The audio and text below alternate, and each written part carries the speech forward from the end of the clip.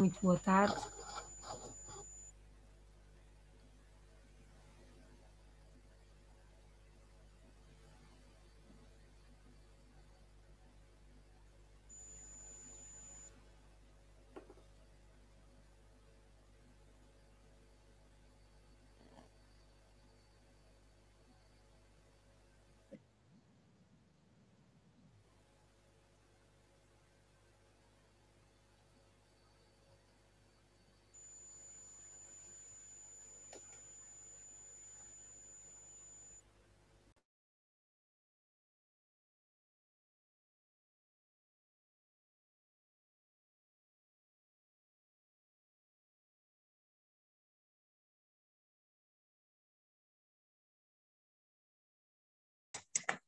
Muito boa tarde.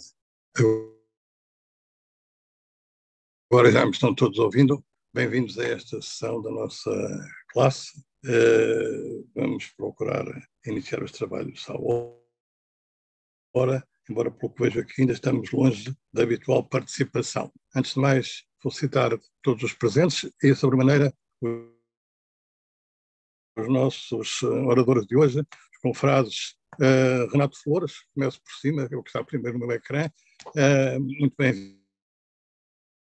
bem-vindo, e o nosso Leonel uh, Santos, que serão hoje os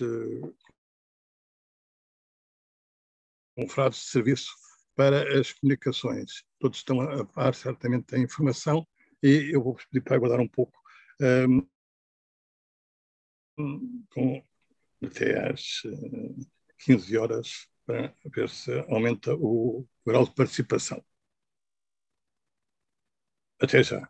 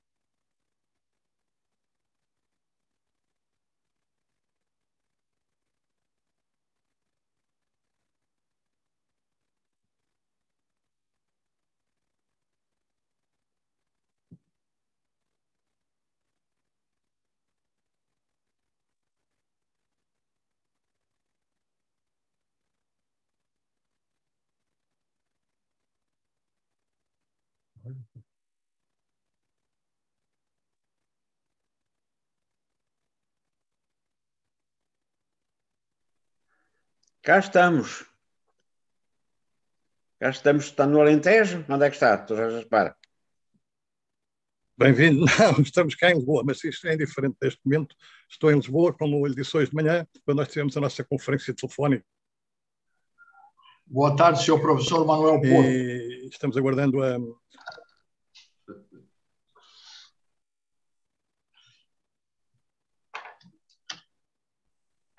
Manuel Porto, tem que ligar o seu, o seu áudio, que não está, não está conectado, se quer falar. Agora já está. Mas estava a dizer ao, ao professor Renato Flores que é, é, é, muito bom estar no Rio de Janeiro, mas é bom, é bom vir cá. Agora, o Rio de Janeiro não é feio, de qualquer maneira, Renato, não é feio, o Rio de Janeiro não é feio. Ah, o outono no Rio de Janeiro é equivalente à primavera da Europa. O outono aqui, para mim, é a estação mais linda que há. Agora é sim. uma estação amena e muito bonita. Está uma beleza o tempo. Agora, Renato, eu costumo dizer, eh, eh, comparando, quer dizer, tenho pena dos americanos, coitaditos, e outros que agora estão a chegar a Marte e à Lua, quer dizer, eh, comparar com os portugueses dos descobrimentos que chegaram ao Rio de Janeiro, a cidade do Cabo, lá a minha terra, a Índia, é um bocado mais bonito que a Lua ou que Marte, não é? Os americanos, coitados, aqui é um pedregulho horrível, quer dizer, os portugueses merecem, mas, mas há uma pequena diferença entre chegar a esses sítios que eu estou a dizer ou chegar à Lua. E a Ilha das Flores na Indonésia, que é linda, a Ilha das Flores, sim, sim. que é do antepassado meu, português. Ah, é? Quem? Como é que chama? Ilha das Flores, chama-se Ilha Flores? Das... Ah, é por essa razão? Na Indonésia, na Indonésia. Ah, não sabia. Que piada, ah. é pequenino. E tem uma igrejinha muito parecida com a igreja do Outeiro. Mas o confrade Renato Flores saberá. Diga? Saberá que neste momento em Lisboa tem um ambiente, no que respeita a flores, muito, muito brasileiro. As nossas ruas, sobretudo a área central das Avenidas Novas, estão todas floridas de jacarandá. É. é uma coisa, é um espetáculo fantástico neste momento. É o jacarandá. O jacarandá, que é uma planta, é que um dos nossos académicos, o Rário Barreto. Bem bonita. Bem bonita, bem bonita. muita prosa poética, não é? É muito bonita, é verdade. É. Tem toda a razão. É. é. E abriram a velha embaixada no Rio de Janeiro, viste isso, Renato? Deu aqui nas notícias, no telejornal, uh, no Lago dos Leões, não é? Esteve fechada, uh, que é o consulado português, não é? Aquela casa linda foi reaberta. É, é. Agora, há, há poucos dias, semana passada, e entrevistaram, entre outros, o Alcides Martins, o nosso velho amigo, foi um dos entrevistados. Também, portanto, pessoas de, de, de, de serviços diplomáticos portugueses, então, uma casa fantástica. Aqui na cidade do Rio de Janeiro, a vacinação está a correr muito bem. É, ao final dessa semana, uh, termina-se as pessoas com até 40 anos. Na semana que vem começa os abaixo de 40 já. Pois não é, tem que ser. Então na cidade está a correr muito bem. E o número de mortos e doentes tem melhorado, tem diminuído? Como é que tem sido tem diminuído. Eu acho ainda a, as mortes muito altas. Pois é, estão, não é? É, é a, a, o número de mortes é muito alto. É muito Mas alto. Eu, eu acho o Bolsonaro, que... o Bolsonaro não tinha medo do vírus, pois não. O Bolsonaro era um valente. Não tinha medo nenhum do Covid. Eu teve, mas esteve muito fraco. Um valentão. É. Um eu valentão. tive, quase não tive nada. Eu não pois, tive nada. Mas fiz o RT-PCR e estava positivo. Fiquei um dia com febre. Pois. É muito relativo, nós não conhecemos esse vírus ainda, é muito estranho. Mas é preciso cautelar mesmo com a vacina tomada, convém ter cautelas, como parece. Yeah. Parece que vai ter cautela. Pode haver outras variantes. Na Índia é que está muito mal, mas da minha família não foi ninguém apanhado lá na Índia, felizmente. E temos família em Bombaim, em Bangalore, em Goa, naturalmente. Mas até agora ninguém apanhou, felizmente. A Índia, como nós, é muito vasto o território, então às vezes as estatísticas estão muito boas, mas é que a, a calamidade está concentrada numa determinada área. Pois é, pois é. Delhi, que já esteve péssimo, eu tenho vários amigos em Delhi, a situação não está muito ruim. Bom, senhor presidente. Há duas atas, já vos falei, não é? Então vamos começar os trabalhos. Eu quero saudar os que, entretanto, chegaram, vieram até nós. Nós estamos neste momento com 28 participantes e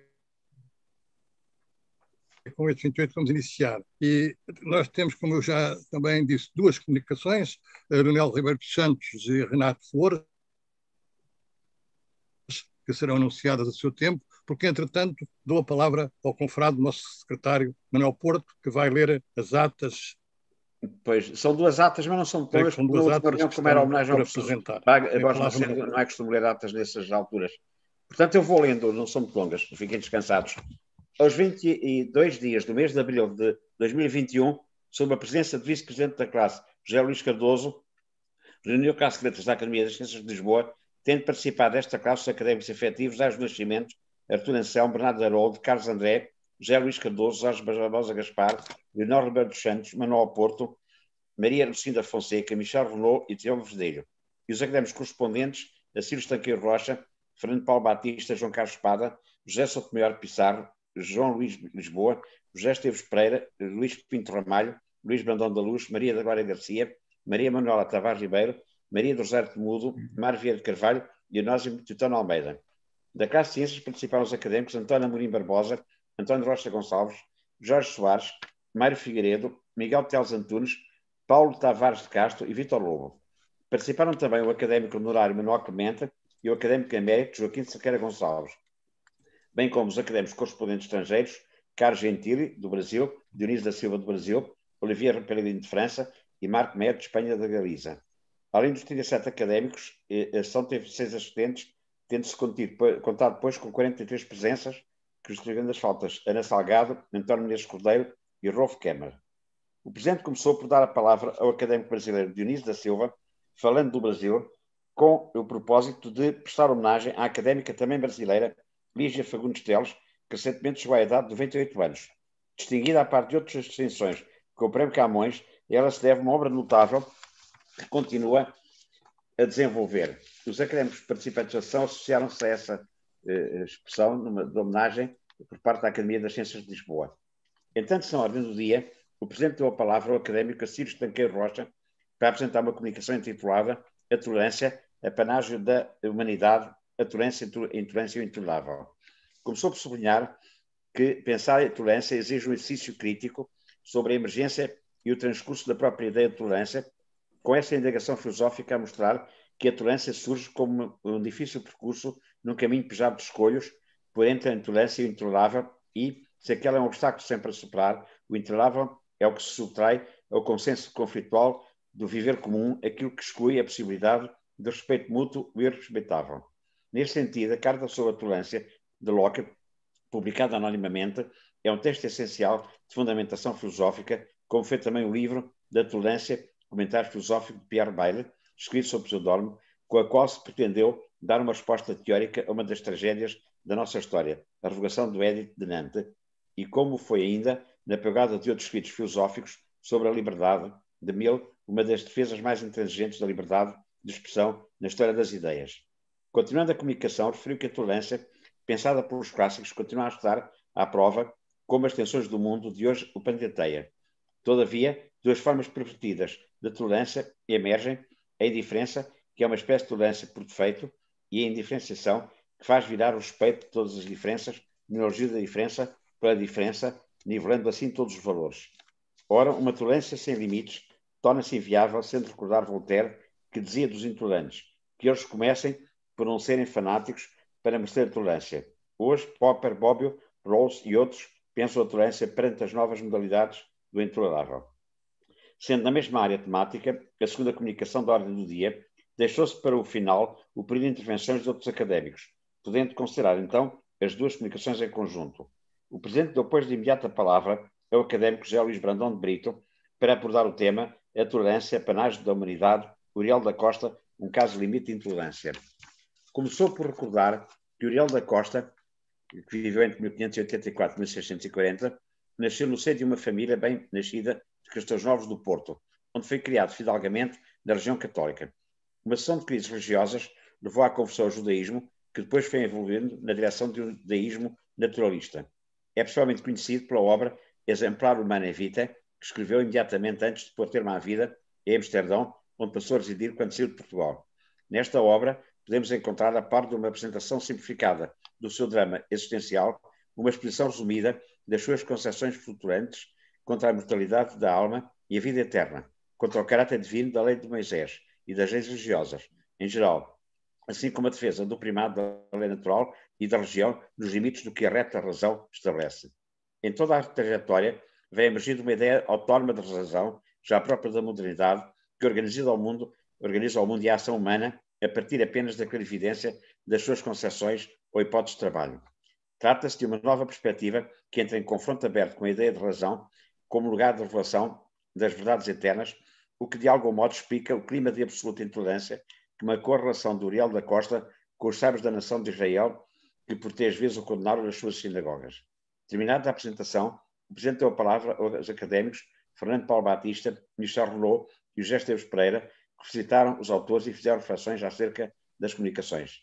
Antes da conclusão da sessão, o Presidente fez referência à realização de um plenário de efetivos dia 29 de abril para a apreciação de propostas de alteração dos estatutos da Academia das Ciências e a ação da Casa de Letras do dia 13 de maio, dedicada a homenagear o académico Jorge Borges Macedo.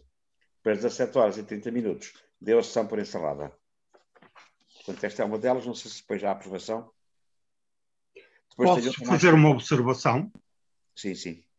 É, é que o nome do segundo palestrante não é José qualquer coisa Brito, é Brandão da Luz. José Luís Brandão da Luz. Ai, que me enganei. Tem razão, tem razão. Mas foi mandado, tem razão. Com certeza, vou já, é isso que eu agradeço, este tipo de. É Luís Brandão da Luz. Muito obrigado por, pelo reparo. Muito obrigado. Não sei se há mais alguma sugestão de correção, que isso é que eu agradeço, para não ficar as coisas mal. Mais alguma sugestão? Eh, eu, o Manuel Porto, nós não ouvimos muito, muito bem a. Diga. A leitura. É, pelo menos eu não tive melhor, as, melhores, as melhores condições. Ah. E, portanto, eu sugeria, se alguém tiver alguma dúvida, pode enviar um e-mail e, ou... Pois, e ver depois aí. Ou, ou enfim, consultar o, o Manuel Porto sobre o conteúdo, pois, algum, alguma algum conceito. E mandar com gosto. Muito bem. Menos esclarecido. Posto isto, pergunto-se, em relação ao que ouviram, há mais alguma intervenção sobre esta ata? Sendo assim, a ata considera-se aprovada nas condições que eu aqui enunciei.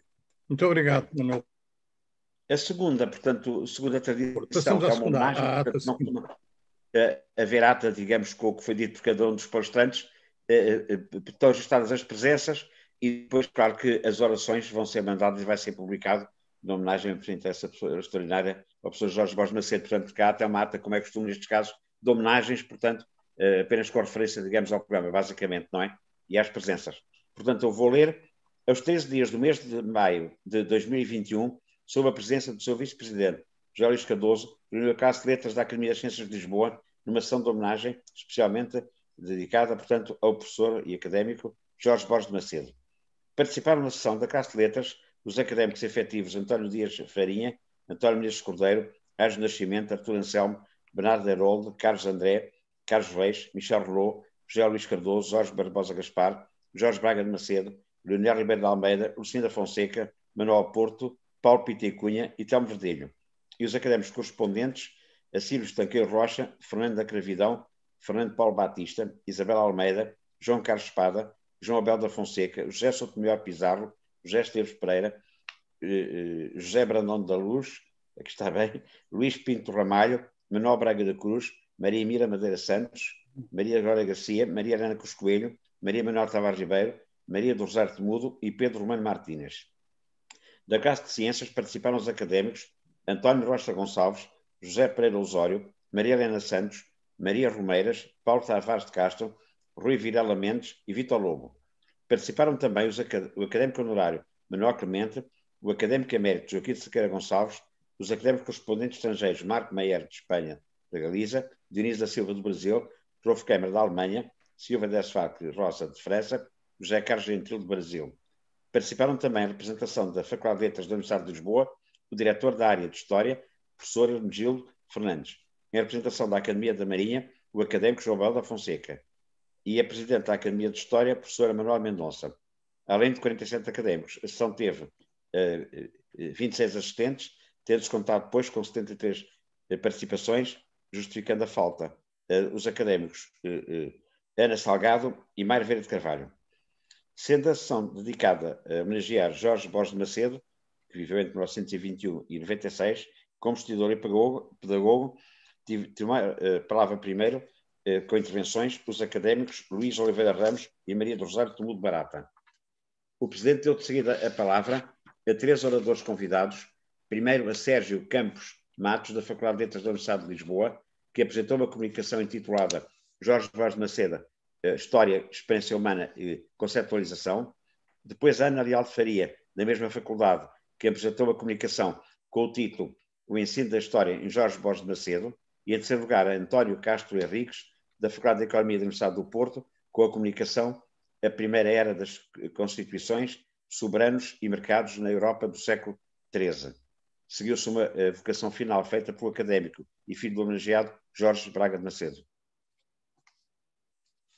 Portanto, a tradição é essa, ser uma coisa Tenho... só descritiva do programa. Posso, posso fazer um comentário? Diz, diz, faz favor. Um, Muito particularmente. É que, é que o confrade eh, esqueceu-se da Universidade Católica, cuja reitora eh, foi ah, convidada ah, e se fez representar pelo nosso confrade Manuel Braga da Cruz. Se puder Tens toda a razão, agradeço muito. Não, é, a culpa não é minha, é dos serviços que me mandaram, mas eu assumo porque. Não, a culpa é sempre do rapporteur, eu peço desculpa. Eu sei, eu sei, eu assumo, assumo, assumo.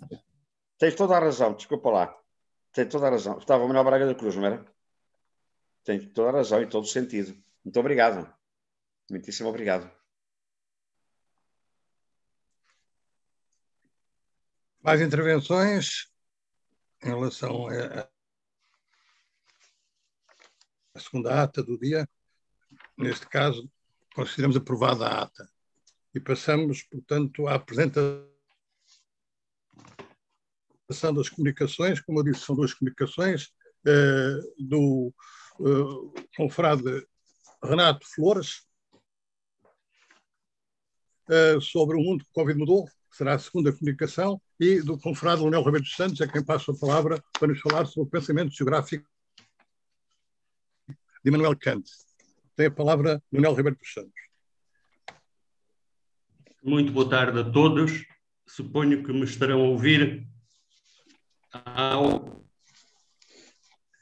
Está a boa audição? Está boa, está boa. Sim, muito obrigado. Senhor Presidente da classe de letras Bom, da, está boa. É preciso é que fale. Da, Academia, da Academia das Ciências de Lisboa, professor Dr. Jorge Barbosa Gaspar, senhores e senhora, senhoras e senhores académicos, hum, é do pensamento geográfico de Immanuel Kant que me proponho falar nesta comunicação. Sob este título, porém, não viso apenas tentar ver como Kant ensinava e concebia a geografia enquanto disciplina, mas, para além disso, tento mostrar como ele possuía uma mente e uma imaginação geograficamente configuradas o que o levava a colocar até mesmo os problemas filosóficos da razão pura em formatação e linguagem geográfica ou geográfico-política. E mostrar também o quanto a sua filosofia da história e da política estão determinadas pela sua vasta e profunda consciência geográfica e por uma visão da condição terrena da espécie humana, do homem como cidadão da Terra. E, antes de começar, aos muito prezados confrades geógrafos, peço a académica tolerância para esta minha ousadia de, embora tomando a boleia de Kant, vir aqui, como se costuma dizer, meter foice em seara alheia. Por certo, não é por este aspecto da sua obra que o filósofo alemão é geralmente conhecido e apreciado. Este é mesmo o aspecto mais desprezado e mais sem literatura de quantos ele cultivou e a respeito dos quais deixou reflexão. Não falta, é certo, alguma razão para esse desprezo. Tendo ele mesmo instituído o curso de Geografia Física na sua universidade e tendo lecionado essa disciplina com absoluta regularidade por 49 vezes ao longo de 40 anos, foi mesmo a disciplina que mais vezes lecionou. Desde o primeiro ao último ano da sua vida académica, Kant, todavia, não publicou, nem redigiu ele próprio uma obra que compendiasse o seu pensamento sobre essa matéria. Do seu curso de Geografia Física circulavam várias versões sob a forma de cadernos de apontamentos tomados nas aulas por alguns dos seus alunos, depois multiplicados em cópias e resumos. Já nos derradeiros anos da sua vida, viriam a aparecer duas edições do curso, uma delas por um livreiro de Mogúncia, usando como base, como base textual apontamentos de alunos de Kant, feita sem o consentimento do seu suposto autor, que publicamente a repudiaria como ilegítima, declarando expressamente que não a reconhecia como sua, nem quanto à matéria, nem quanto à forma. Confiou, porém, o encargo de editar o seu curso da disciplina a Friedrich Theodor Link, seu antigo aluno e amigo, colocando à disposição deste os materiais que ele próprio usara para as suas aulas e declarando ser essa a legítima edição do curso. A obra foi publicada em dois volumes em 1802. A outra, ilegítima, saiu em quatro volumes, eh, eh, conseguiu antecipar-se a esta edição legítima. A origem algo confusa do texto da Geografia Física de Kant, publicado por Rink, que ainda assim, apesar de todas as dúvidas e reservas, foi acolhido na edição de referência das obras de Kant, no volume nono da Academia Ausgabe dos Kant Gesammelte Schriften, tem estendido uma bruma de desconfiança a respeito da sua autenticidade e da fiabilidade do respectivo conteúdo, o que em boa parte é responsável pelo escassíssimo interesse que lhe tem sido atribuído. Para além do material contido no curso de Geografia Física, Dispomos ainda de duas outras fontes não negligenciáveis para aceder ao pensamento geográfico de Kant.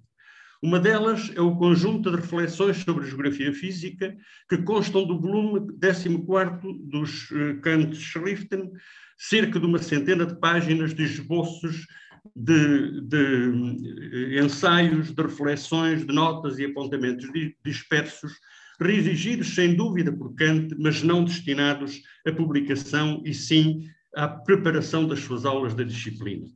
A outra fonte é constituída pelas várias versões que subsistem dos apontamentos da, da, disciplina tomados em anos diferentes, ao longo de 40 anos, nas aulas do professor Kant por alguns dos seus alunos. A edição deste material só parcialmente está disponível num dos tomos do volume 26 da Academia Ausgabe, aguardando-se a publicação de um outro tomo. E o tomo que está publicado contém apenas um, uma das versões desses apontamentos. Se a origem pouco fiável quanto à plena autenticidade do texto do curso de Geografia Física pode ser invocada para dar razão da pouca atenção e apreço que esse aspecto do pensamento kantiano tem merecido, seja da parte dos geógrafos, seja da parte dos filósofos e até mesmo dos kantianos, não é, porém, a única razão para tal.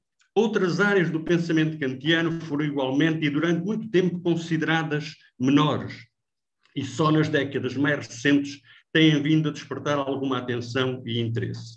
É o caso do pensamento cosmológico, do pensamento biológico, do pensamento estético, da antropologia, da filosofia da história, da filosofia política, da filosofia do direito, da filosofia da religião e de muitos outros tópicos com estas áreas relacionados.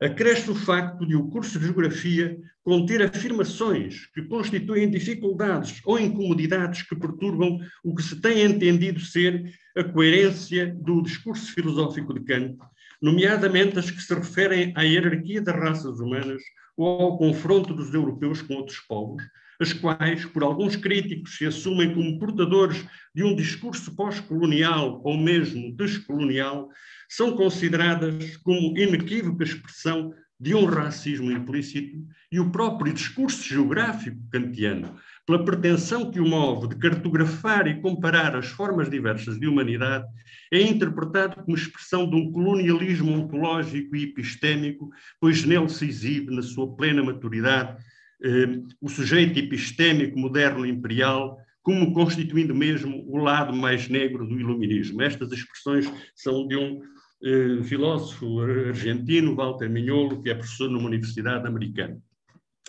Nos últimos anos, tem havido alguma concentração de artigos sobre estes temas, raça, eurocentrismo, colonialismo, podendo até dizer-se que foi em boa parte por este viés, quase sempre por uma focagem deformada e descontextualizada, que se passou a dar atenção a algumas páginas da geografia física de Kant. Mas isso teve pelo menos o benéfico efeito de obrigar alguns kantianos a ler e a reavaliar essa obra de Kant e a tê-la em conta numa hermenêutica mais compreensiva do pensamento do filósofo. A, Maria, a maioria dos intérpretes de Kant continua certamente a ter a presunção, ou mesmo a obstinação, de pensar que é possível alcançar da filosofia de crítica de Kant uma compreensão suficiente ou adequada sem o conhecimento, seja do pensamento geográfico, seja de outros aspectos que consideram menores da obra do filósofo. Mas deve ao menos conceder-se como hipótese que quem tenha também o conhecimento deste e daqueles outros aspectos supostamente menores poderá compreender muito melhor também a pertinência de muitos espaços da própria crítica da razão pura, escritos em jargão geográfico, e alcançar assim uma melhor compreensão do conteúdo, da forma e do ambiente semântico envolvente do pensamento kantiano, mesmo naquilo que nele se considera ser o mais importante. Mas, mesmo que não viesse a obter-se esse ganho hermenêutico, creio que, a partir da atenção a esse aspecto, no mínimo, se aceitaria a ideia de que Kant, o filósofo da razão pura, geralmente conhecido apenas por ser o filósofo do apriorismo e do idealismo transcendental, é, na verdade, um filósofo com os pés assentes na terra e preocupado com o destino da espécie humana na sua incontornável relação com a terra. Felizmente, na última década, tem havido sinais dispersos de algum interesse por esta faceta tradicionalmente ignorada e desprezada do pensamento do filósofo alemão, provenientes, esses sinais, seja do campo dos cultores da geografia, seja do campo dos cultores da filosofia. Daí que se possa dizer que a geografia de Kant é o último território desconhecido do mundo kantiano a ser descoberto. As palavras são do professor Robert Luden, que num ensaio recente lança um repto aos kantianos e a todos aqueles a quem estas matérias não sejam indiferentes, dizendo que já é tempo de dar à geografia de Kant o respeito que merece. Da descoberta em curso do pensamento geográfico de Kant, há a esperar um proveito que vai muito para além do mero conhecimento a respeito do que pudesse considerar-se apenas uma singularidade, uma espécie de hobby pessoal do austero professor e filósofo de Königsberg, que assim temperava o seu idealismo e a priorismo transcendentais com a vasta informação e até com a erudição empírica a respeito das coisas dignas de nota e das curiosidades da natureza espalhadas pelo amplo teatro da Terra. Para além disso, podemos esperar obter informação a respeito de, uma, de um peculiar momento, um decisivo capítulo da história da geografia e do pensamento geográfico, talvez mesmo um contributo decisivo para o que alguns autores têm chamado a invenção ou a emergência da geografia moderna. Certo é que, igualmente, podemos ser levados a reconhecer os insuperáveis limites do contributo kantiano para essa disciplina, ou, ou também, mesmo apesar desses limites, a descobrir o inegável valor e significado histórico e filosófico das suas considerações geográficas e até da sua abrangente concepção de geografia. Isto já não seria pouco ganho. Mas eu gostaria de dirigir a minha atenção também para o que da consideração deste aspecto da obra do filósofo nos poderá advir por uma melhor avaliação do significado e até da coerência orgânica do seu pensamento considerado no seu todo. E isso, se, como espero, chegarmos a reconhecer, em primeiro lugar, a muito peculiar, mas que passou ao longo de dois séculos inadvertida dos leitores e dos intérpretes, configuração geográfica do próprio pensamento kantiano, mesmo e precisamente naqueles aspectos que julgaríamos à partida mais distantes disso, como é o caso da filosofia transcendental, tal como foi desenvolvida e exposta na Crítica da Razão Pura, obra na qual se traça, por assim dizer, uma cartografia da razão humana, desejando um mapa mental ou uma tópica transcendental dos conceitos e das funções cognitivas humanas a que respeitam. Se reconhecermos, chegarmos a reconhecer, em segundo lugar, a profunda determinação geográfica do pensamento antropológico, histórico, político, jurídico de Kant, mercado que é pela ideia de que a condição humana está indissociavelmente ligada à Terra e condicionada pela natural e essencial finitude desta sobre todos os aspectos. A visão geográfica, em suma, como a base que inspira e estrutura o realismo da visão cosmopolita que constitui o horizonte capaz de dar um sentido à peculiar destinação do homem, ao caráter da humanidade ou da espécie humana no seu desenvolvimento histórico. Mas tudo isso ganhará mais significado se o situarmos num, no contexto mais amplo de uma precoce e persistente ocupação e preocupação do filósofo com a terra e com a relação do homem com a terra. E é disso que trata o primeiro ponto desta comunicação. Este hum, primeiro a introdução eram questões de acesso, problemas de acesso e de hermenêutica eh, do, do, do tema. Então, eh, passo ao propriamente primeiro ponto, eh, da, eh, dos quatro pontos mais, não sei se terei tempo de, de, comunicar, mas pelo menos sinteticamente direi aquilo que penso ou tenho intenção de, de comunicar. Para além das dissertações de natureza académica, em os primeiros escritos que Kant produziu por própria iniciativa e demonstrando já uma clara autonomia de pensamento, a partir do ano de 1754 e até aos primeiros anos da década seguinte, versaram assuntos de cosmologia ou cosmogonia, de cosmogeologia e de geografia. Como se os seus interesses intelectuais fossem, na época, mais os de um naturalista, como ele mais tarde dirá, um naturforscher, do que os de um filósofo. E a este respeito merecem destaque, antes de mais, dois ensaios quase ignorados que foram publicados no ano de 1754. A resposta à questão proposta pela Academia das Ciências de Berlim para o ano de 54, saber se a Terra sofreu alguma alteração da rotação sobre o seu eixo que provoca a alternância do dia e da noite desde os tempos da sua origem e como nos podemos certificar disso, Kant publica, responde a esta questão e publica uh, o seu texto, mas não envia para o concurso. E uma outra que é publicada no mesmo ano, a questão de saber se a Terra envelhece considerada fisicamente. Num e noutro ensaios, desenvolve-se a ideia de uma história da Terra.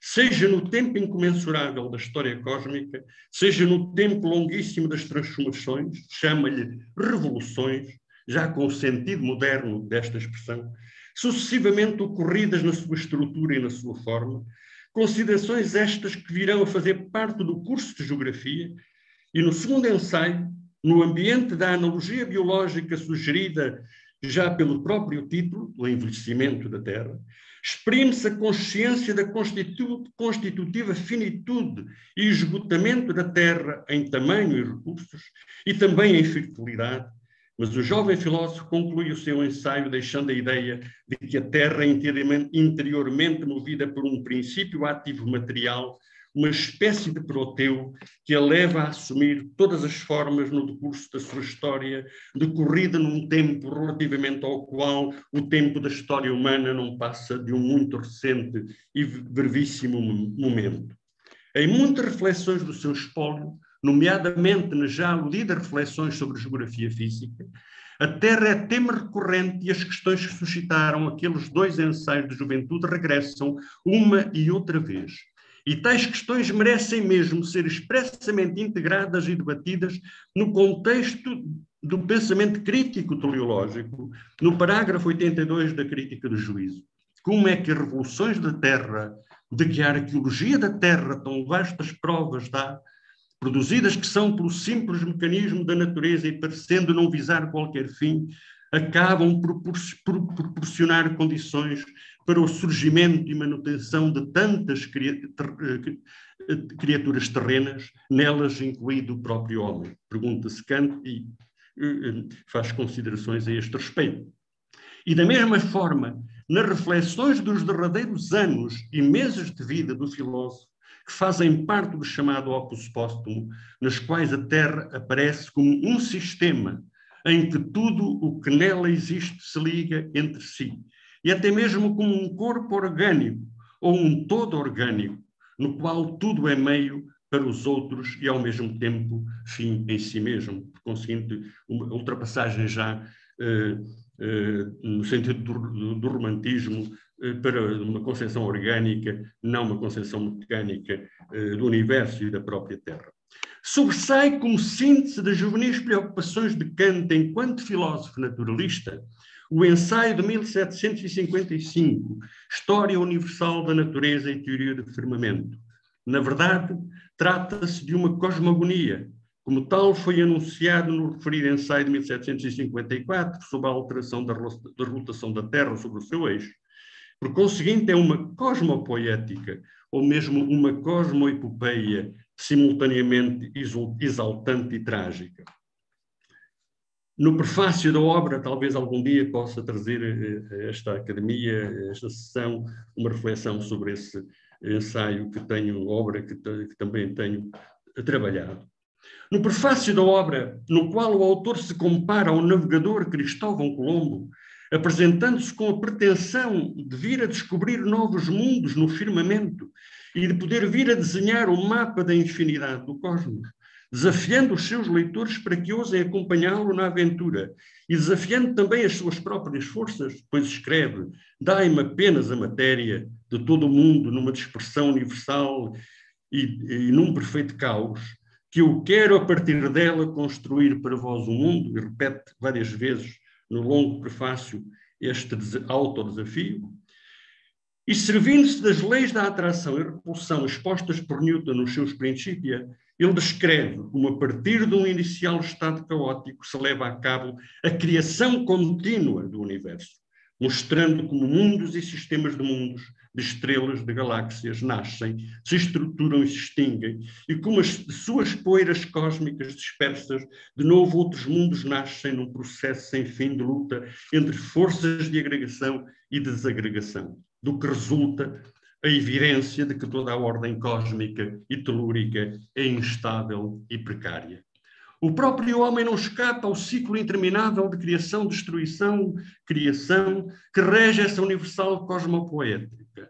Na terceira parte dessa, dessa lida, mas eh, notável obra juvenil, seguindo o fio da analogia ou de uma verosímil correspondência entre o plano físico e material e o plano espiritual e moral, Kant esboça a primeira versão da sua antropologia, sob a forma de uma antropocosmologia, fazendo-se eco de uma convicção bastante generalizada entre pensadores da época, segundo a qual outros planetas seriam, poderiam ser ou vir a ser habitados, Kant considera que, se tal acontece, deve haver alguma proporção entre a constituição e natureza moral desses seres e a constituição material do lugar físico que lhes, que lhes corresponde, nomeadamente tendo em conta a distância e, por conseguinte, a maior ou menor dependência relativamente à influência solar. De acordo com tal pressuposto, os habitantes espiritual e moralmente mais perfeitos do sistema solar, se os há, se alguma vez os houve, ou se alguma vez os vier a haver, serão os de Júpiter e de Saturno. Mas este exercício lúdico de correspondências entre o físico e o moral revela o verdadeiro interesse que o move quando aplicado àquele ser que efetivamente habita um planeta intermédio do sistema solar, como é a Terra. Ora, segundo Kant, dada a sua construção material, constituição material, por um lado, e a sua constituição espiritual e moral, por outro, a natureza humana só poderia ocupar no sistema solar um planeta como a Terra, eh, pois a natureza humana ocupa na escala dos seres como que o degrau mais médio encontrando-se como um híbrido entre os dois extremos, numa certa posição média entre a sabedoria e a sem-razão, entre a virtude e o vício. Na verdade, Kant glosa, em clave cosmológica, um tema dos pensadores do Renascimento tomado dos escritos herméticos, que encontrava eco em versos recentes do poema An Essay Man, de Alexander Pope, onde se descreve a condição do homem como a de um istmo, colocado num estado intermédio entre o mundo inteligível e o mundo sensível, suspenso na dúvida para agir ou não agir, para preferir o seu espírito ou o seu corpo. Se refiro a este aspecto, é para mostrar como desde cedo começa a desenhar-se no pensamento de Kant a ideia de uma íntima solidariedade entre o homem e a terra, do que também essencialmente nos dá conta o seu pensamento geográfico. Tal solidariedade está expressa na feliz síntese de uma anotação à margem do exemplar pessoal da sua obra Considerações sobre o Sentimento do Belo e do Sublime, provavelmente a nota escrita em 1765, portanto, dez anos depois. Nestes termos, nós podemos ver outros mundos à distância, porém a gravidade obriga-nos a permanecer na Terra. Podemos ver ainda outras perfeições dos espíritos que estão acima de nós, porém a nossa natureza obriga-nos a permanecer homens. Em tempos como os nossos, em que, dominado pela tecnologia, não só o óbice da gravidade, mas muitos outros mais se proclama, se anuncia e se planeia a iminente colonização por humanos de, por humanos de Marte e de, eventualmente de outros planetas, ao que consta a lista de inscrições para viagens regulares é já muito numerosa, Tempos em que, por outro lado, precisamente os humanos porfiam em dar sobejas provas de nem sequer saberem cuidar das condições de habitabilidade e sustentabilidade do planeta que lhes coube em sorte. Trazer aqui esta reflexão sobre este aspecto do pensamento kantiano poderia até ser entendido como uma intempestiva provocação. Na verdade, apesar da amplidão e da ousadia da sua visão cosmológica, que pela primeira vez deixou entrever uma verosímil explicação da origem, da estrutura e do funcionamento do universo galáctico e intergaláctico, o que lhe garante um destacado lugar de pleno direito entre os grandes pensadores do cosmos e entre os fundadores da cosmologia moderna, apesar até de admitir a possibilidade de outros planetas serem, virem a ser ou terem sido habitados por seres inteligentes, Kant revela-se, na verdade, como um inequívoco e incontornável pensador da Terra. E nesta fase do pensamento kantiano, devem mencionar-se também os três ensaios sobre o terremoto de Lisboa, de 1 de novembro de 75, eh, de 1755, publicados nos primeiros meses do ano 1756, quando precisamente começou no semestre em que começou a lecionar a disciplina de geografia. Também eles são imbuídos do espírito de um Naturforschel, sendo o trágico acontecimento encarado pelo jovem filósofo naturalista como um fenómeno da história da Terra e da atividade geológica ainda em processo. Assim o declara.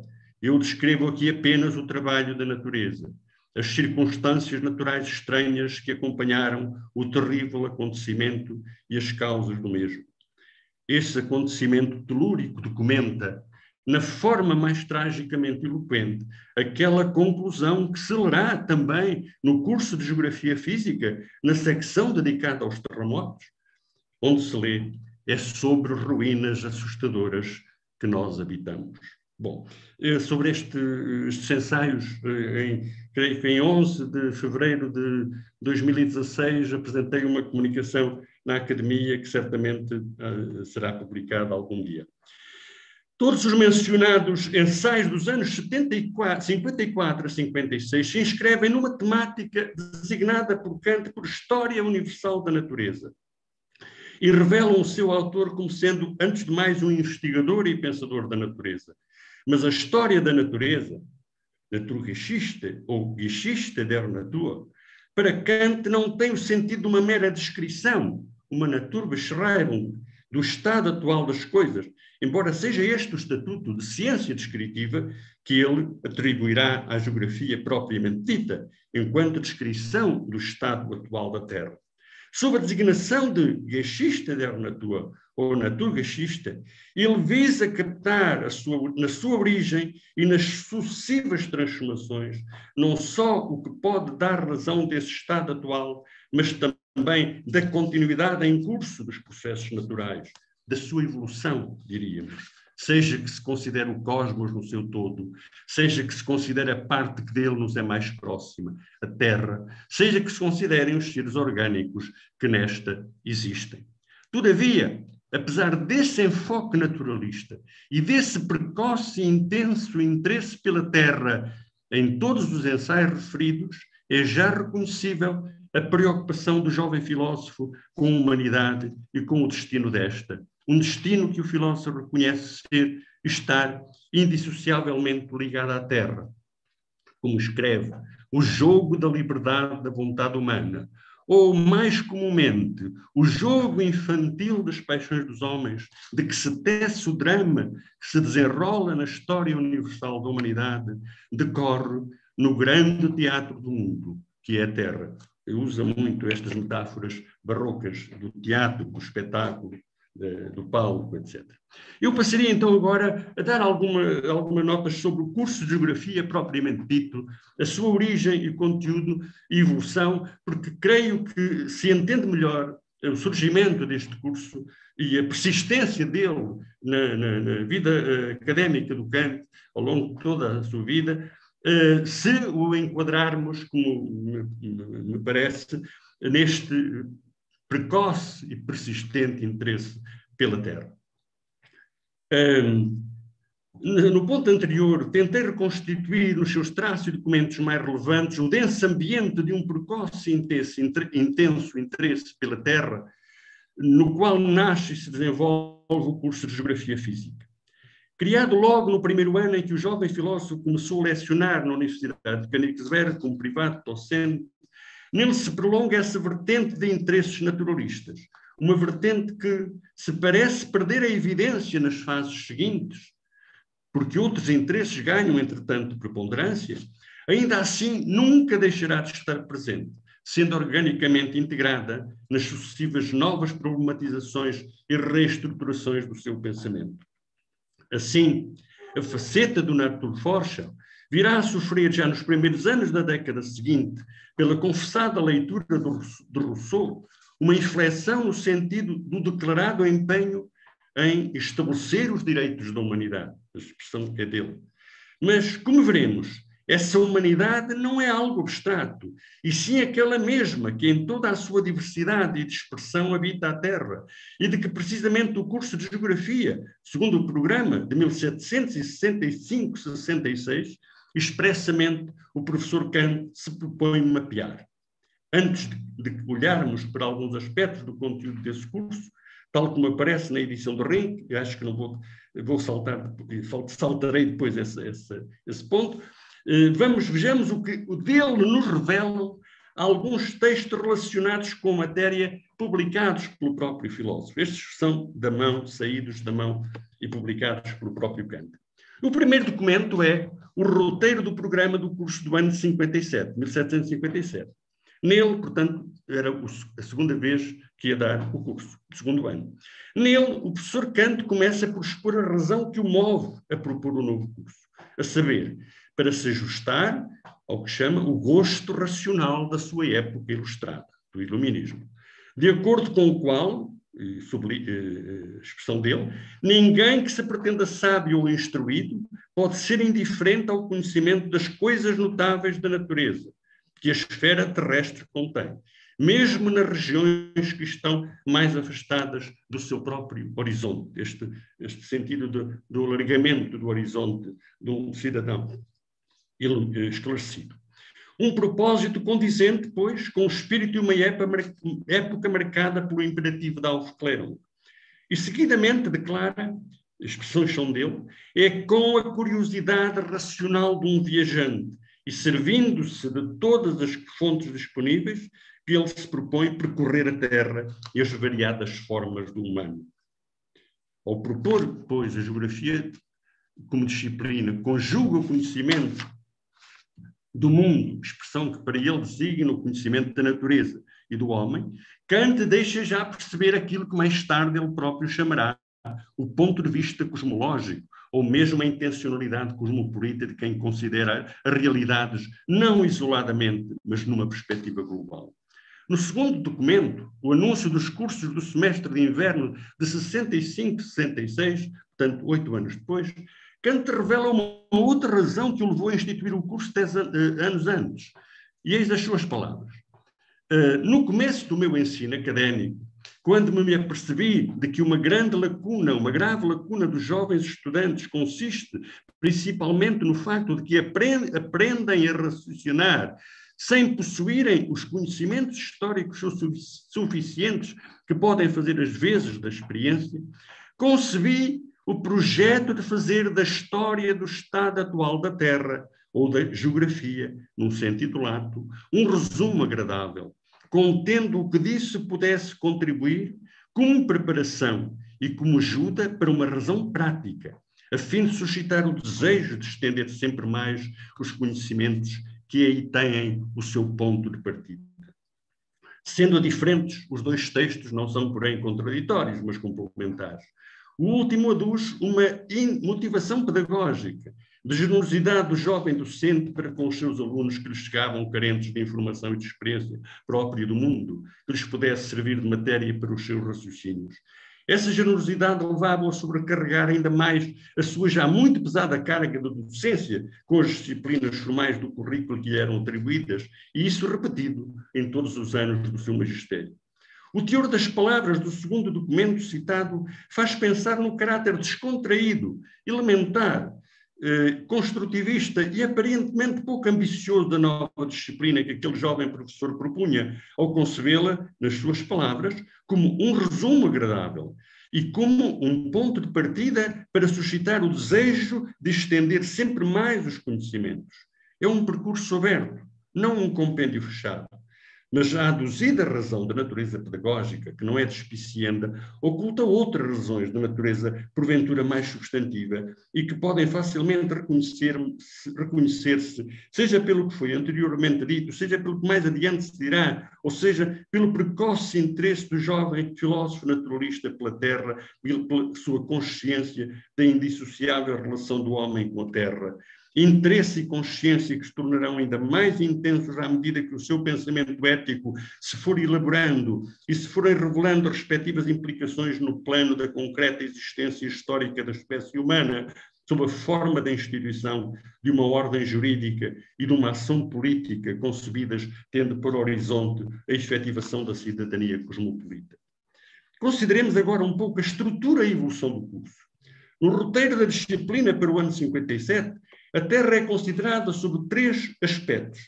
O aspecto matemático, é preciso dizer que, na realidade, o, o curso de, editado por Renck eh, replica eh, esta versão, portanto, uma versão muito arcaica do curso de campo e, por conseguinte, uma das razões eh, que leva muitos, muitos comentadores, alguns comentadores, um, não dar muita importância, é precisamente por isso, porque ele hum, apanha o pensamento geográfico de Kant numa fase muito inicial e não dá conta das, das posteriores elaborações que certamente esse curso teve e que dão conta que se sabem, uh, se conhecem precisamente à medida que se foram descobrindo os tais cadernos de apontamentos de anos sucessivos, não é? mesmo que o Kant tivesse muitas dúvidas em relação a esses apontamentos tomados pelos seus alunos.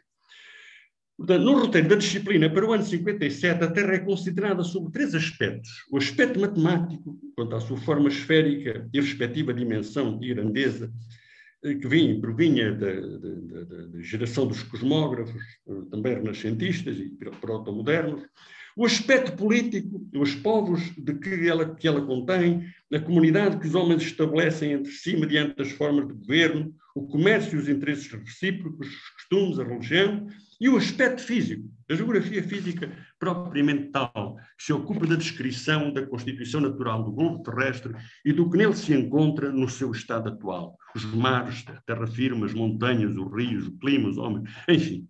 Mas várias secções desse roteiro são dedicadas, como há bocadinho chamava a atenção, para a história da Terra, ainda muito ligada àquelas considerações cosmogeológicas iniciais, às grandes transformações nela ocorridas, sejam elas devidas a fenómenos naturais, seja por efeito da ação humana. Nessas notas é recorrente a convicção, muitas vezes repetida também noutros textos mesmo posteriores, de que no seu estado inicial a Terra estaria coberta de água e a algum momento posterior as águas recuaram formando mares e deixando terras firmes. Mas tudo, é, é, palavras dele, tudo o que atualmente é terra firme foi outrora fundo dos mares. E a mudança de terra firme em mares e de mares em terra firme deu-se em longos períodos e por mais do que uma vez, podendo ainda ler-se os registros dessa arqueologia da terra nas camadas da estratificação geológica até onde seja possível segui-la em profundidade das sucessivas mudanças dos mares em terra firme e das terras firmes em mares, resulta que atualmente são picos de altas montanhas ou planaltos, foram outrora abismos ou planícies oceânicas, como provam os cemitérios de moluscos ou de animais, que ele marinhos de grande porte, por vezes, e de plantas marinhas petrificadas que é possível encontrar no, no cimo das montanhas. Oito anos passados, neste, neste primeiro programa, esta parte desta história da Terra ainda tinha muita, muita presença. Ela vai eh, ser reduzida depois. No anúncio do programa do semestre de inverno, 65, 66, Kant começa por fazer um balanço da evolução da sua lecionação da disciplina e da gradual, mas substancial transformação do respectivo programa e conteúdo. Ouçamos. Gradualmente, eu expandi o esquema do meu curso e agora proponho condensar a parte respeitante às características físicas da Terra para ganhar o tempo necessário para o estender de modo a incluir outras partes que são ainda de maior utilidade. Esta disciplina será, por conseguinte, uma geografia física, moral e política, ligados todos estes uh, epítetos por, uh, por hífen. Física, moral e política na qual serão apontadas, primeiramente, as coisas notáveis da natureza, os seus três reinos. E esta parte, que também contém eh, o tratamento da relação natural que existe no mundo entre todos os países e os mares e a razão, eh, e a razão para a sua conexão, é o fundamento essencial de toda a história. Marca já esta importância da geografia para compreender a própria história. Não só a história como disciplina, mas a história como a produção humana, eh, aquilo que, que, que o homem faz eh, de, de si eh, com o que a natureza lhe dá. A segunda secção considera o homem, segundo a variedade das sobrenaturais propriedades e das diferenças naquilo que é moral, ou seja, naquilo que revela, releva da cultura e, das, e dos costumes. A consideração destas coisas é muito importante e também altamente estimulante. Se esses aspectos não forem considerados, dificilmente se poderão fazer os juízos gerais a respeito do homem. A comparação dos seres humanos uns com os outros e a comparação do homem atual com o estado moral dos homens nos tempos primitivos fornece-nos um grande mapa do género humano. Finalmente, Deve haver uma abordagem, continua ele, do que pode ser considerado como produto da recíproca interação de duas forças previamente mencionadas, a saber, a situação dos Estados e dos povos sobre a Terra. O assunto não deve ser considerado tanto do ponto de vista do modo como a situação dos Estados depende de causas acidentais, como, por exemplo, as mortes e os destinos dos indivíduos, as sequências dos, dos, governos, as conquistas e intrigas entre Estados, mas deverá antes ser considerado tendo em conta o que é mais constante e o que contém o mais remoto fundamento daquelas causas acidentais, a saber, a situação dos seus países, a natureza dos seus produtos, a indústria, qualificativo eh, eh, eh, e, em especial, o comércio e a população. Este anúncio de programa revela uma decisiva viragem. Não talvez tanto na matéria de escrita quanto na perspectiva geral que inspira a disciplina. O aspecto da geografia matemática perde relevância e até a geografia física passa a ser encarada na sua privilegiada relação com o homem e com os povos que habitam a Terra e entre si interagem economicamente, culturalmente, politicamente. O curso já não é propriamente falando um de geografia física, mas sim de geografia física, moral e política, eh, eh intencionalmente ligados, por isso, como disse. E adverte-se aqui a subtil influência de Rousseau lida nesses anos, mil, eh, nos dois anos imediatamente anteriores a este a este, a este, eh, a este programa, na enunciação de tópicos quais, tais como o estudo do homem na sua diversidade, o confronto do homem atual com o homem primitivo, de modo a poder desenhar o grande mapa do género humano, a atenção às variedades e diferenças do humano, sem o que não pode fazer-se um juízo pertinente sobre o que é o homem. É como se o Kant tivesse presente o célebre passo do discurso sobre a origem e os fundamentos da desigualdade entre os homens, no qual Rousseau denuncia o preconceito comum ao, ao discurso antropológico das luzes, o etnocentrismo, de que, dizendo que a razão não viaja, eh, há centenas de, de, homens dando, reportando o que se passa nos outros lados do mundo e como é que são os homens do outro lado do mundo, e podiam fazer isso, não, sei, o, que, o que nos dão é, é, é o mesmo que, que, que, diriam se não saíssem da sua própria rua, ou seja, não, não, não são capazes de ver o outro como o outro, como diferente. A preocupação antropológica do curso torna-se mais evidente e ela reconfigura mesmo a abordagem das matérias da geografia física.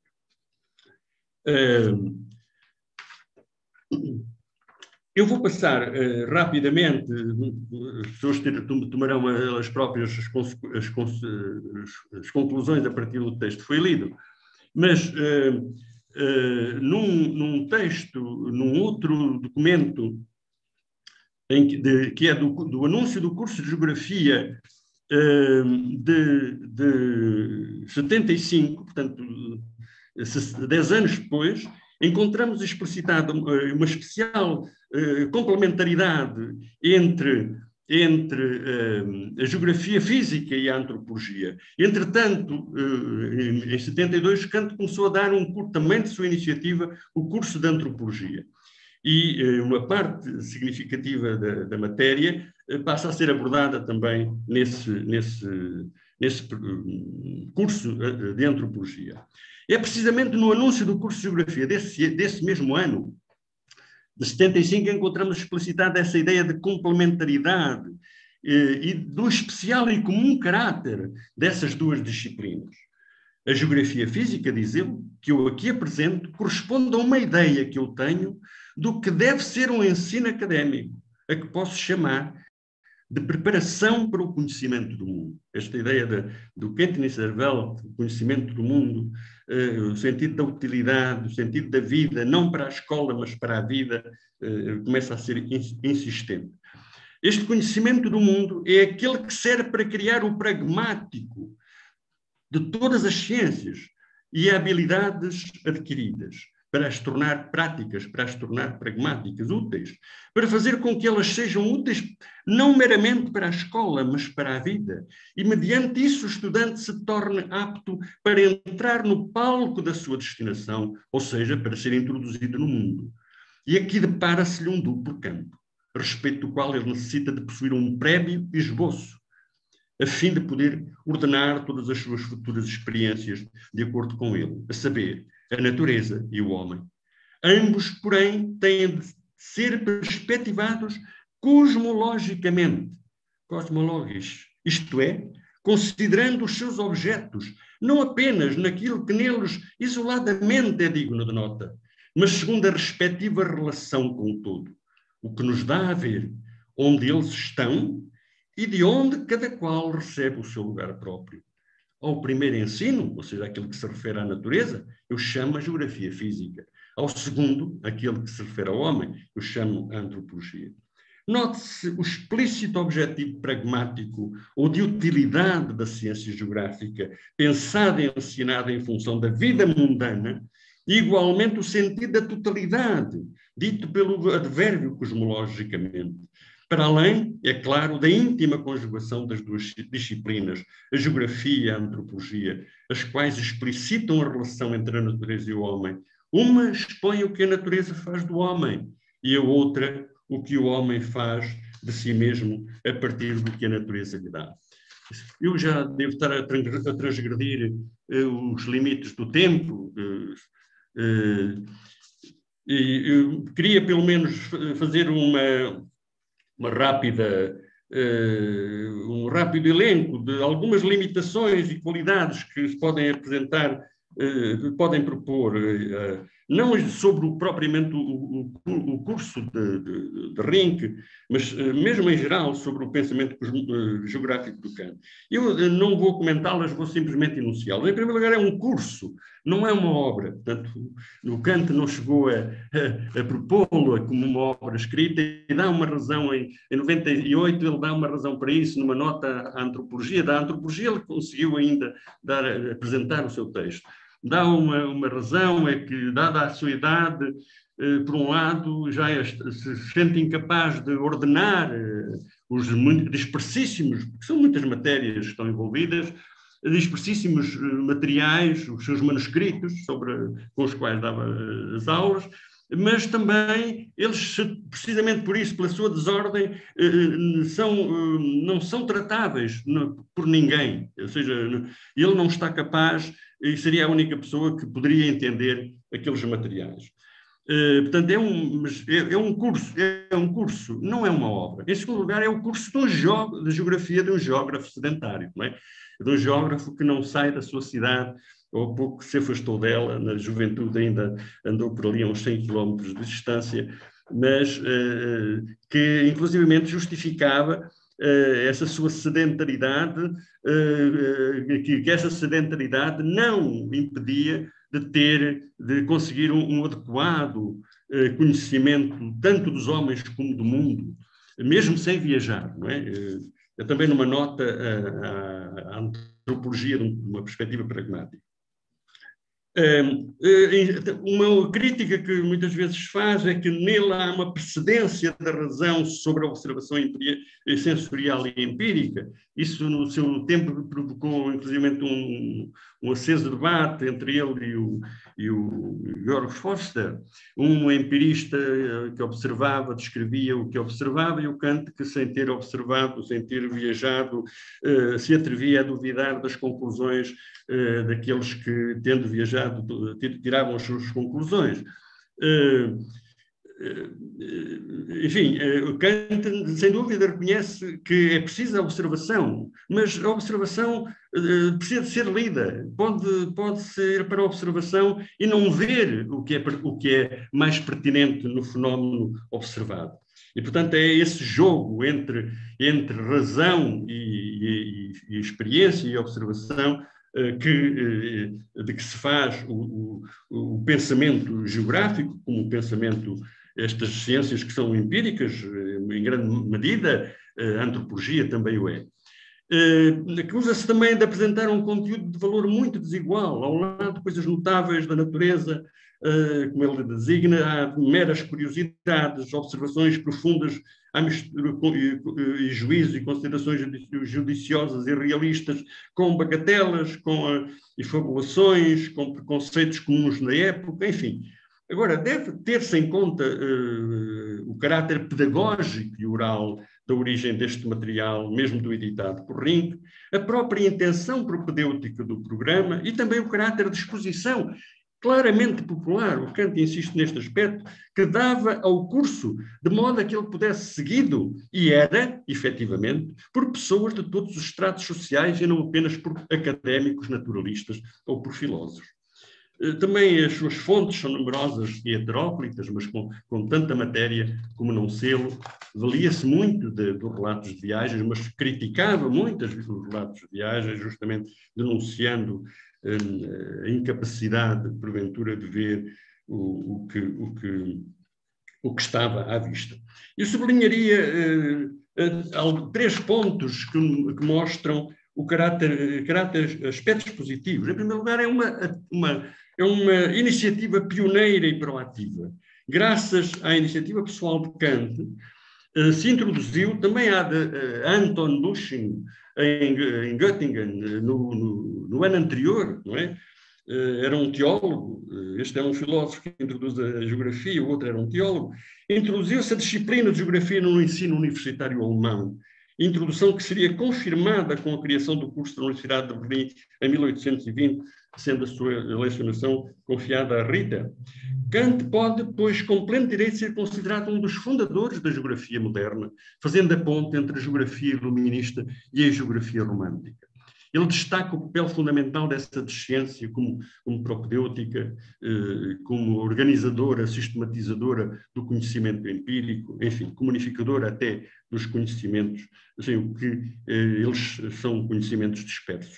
Há uma explícita intenção pedagógica eh, em Kant na proposição desta disciplina, mas também uma inequívoca inspiração e preocupação cosmopolita. Kant responde desde cedo ao imperativo de conhecimento pragmático do mundo de uma época que se guiava pelo lema da Aufklärung, lema que, porém, não significava para ele apenas obter o conhecimento do mundo, mas também a corresponsabilidade pelo mundo e pelo que nele se passa. A visão geográfica da Terra e do mundo deu a Kant uma profunda e vasta consciência global cosmológica, como ele dizia. Deu-lhe a consciência da comunidade humana diversa e dispersa pelo globo. Deu-lhe a aguda percepção de que os problemas humanos políticos e jurídicos estavam intimamente ligados com a geografia física. Seria o último ponto que eu eh, tinha no meu programa para esta, para esta comunicação, mas não vou poder expor.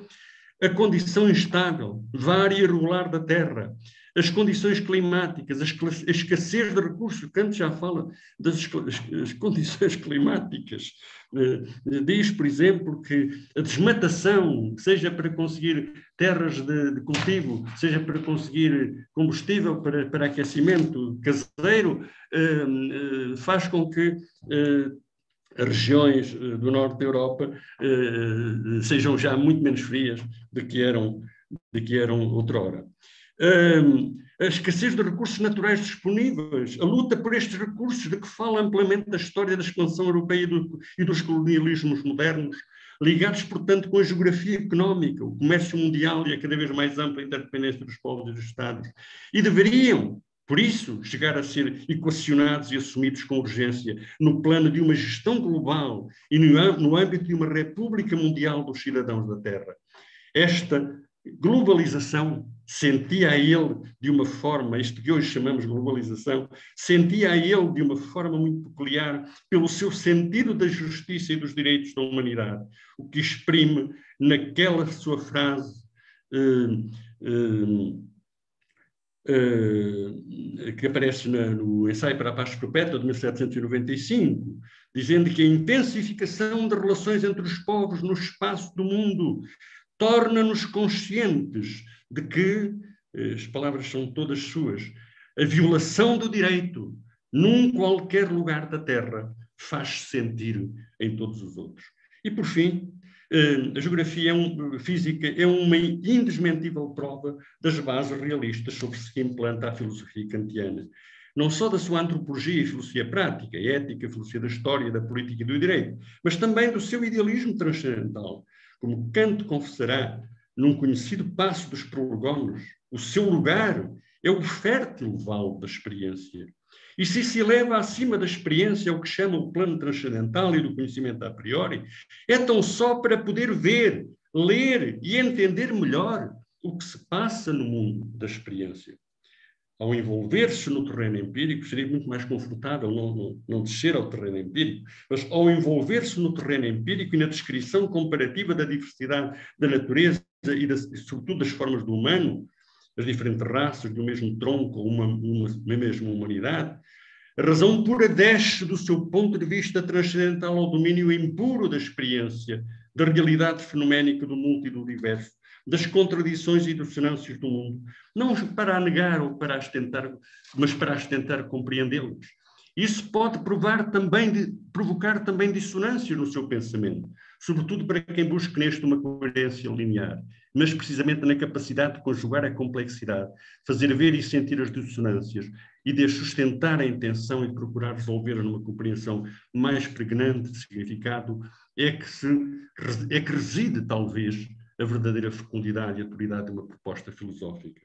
E eu terminaria uh, com uma citação de um, uh, falando de um uh, filósofo que se tornou geógrafo, com uma passagem de um artigo, de um ensaio de um, de um, de um geógrafo que cruza com muita frequência os territórios da filosofia e, em particular, o pensamento kantiano.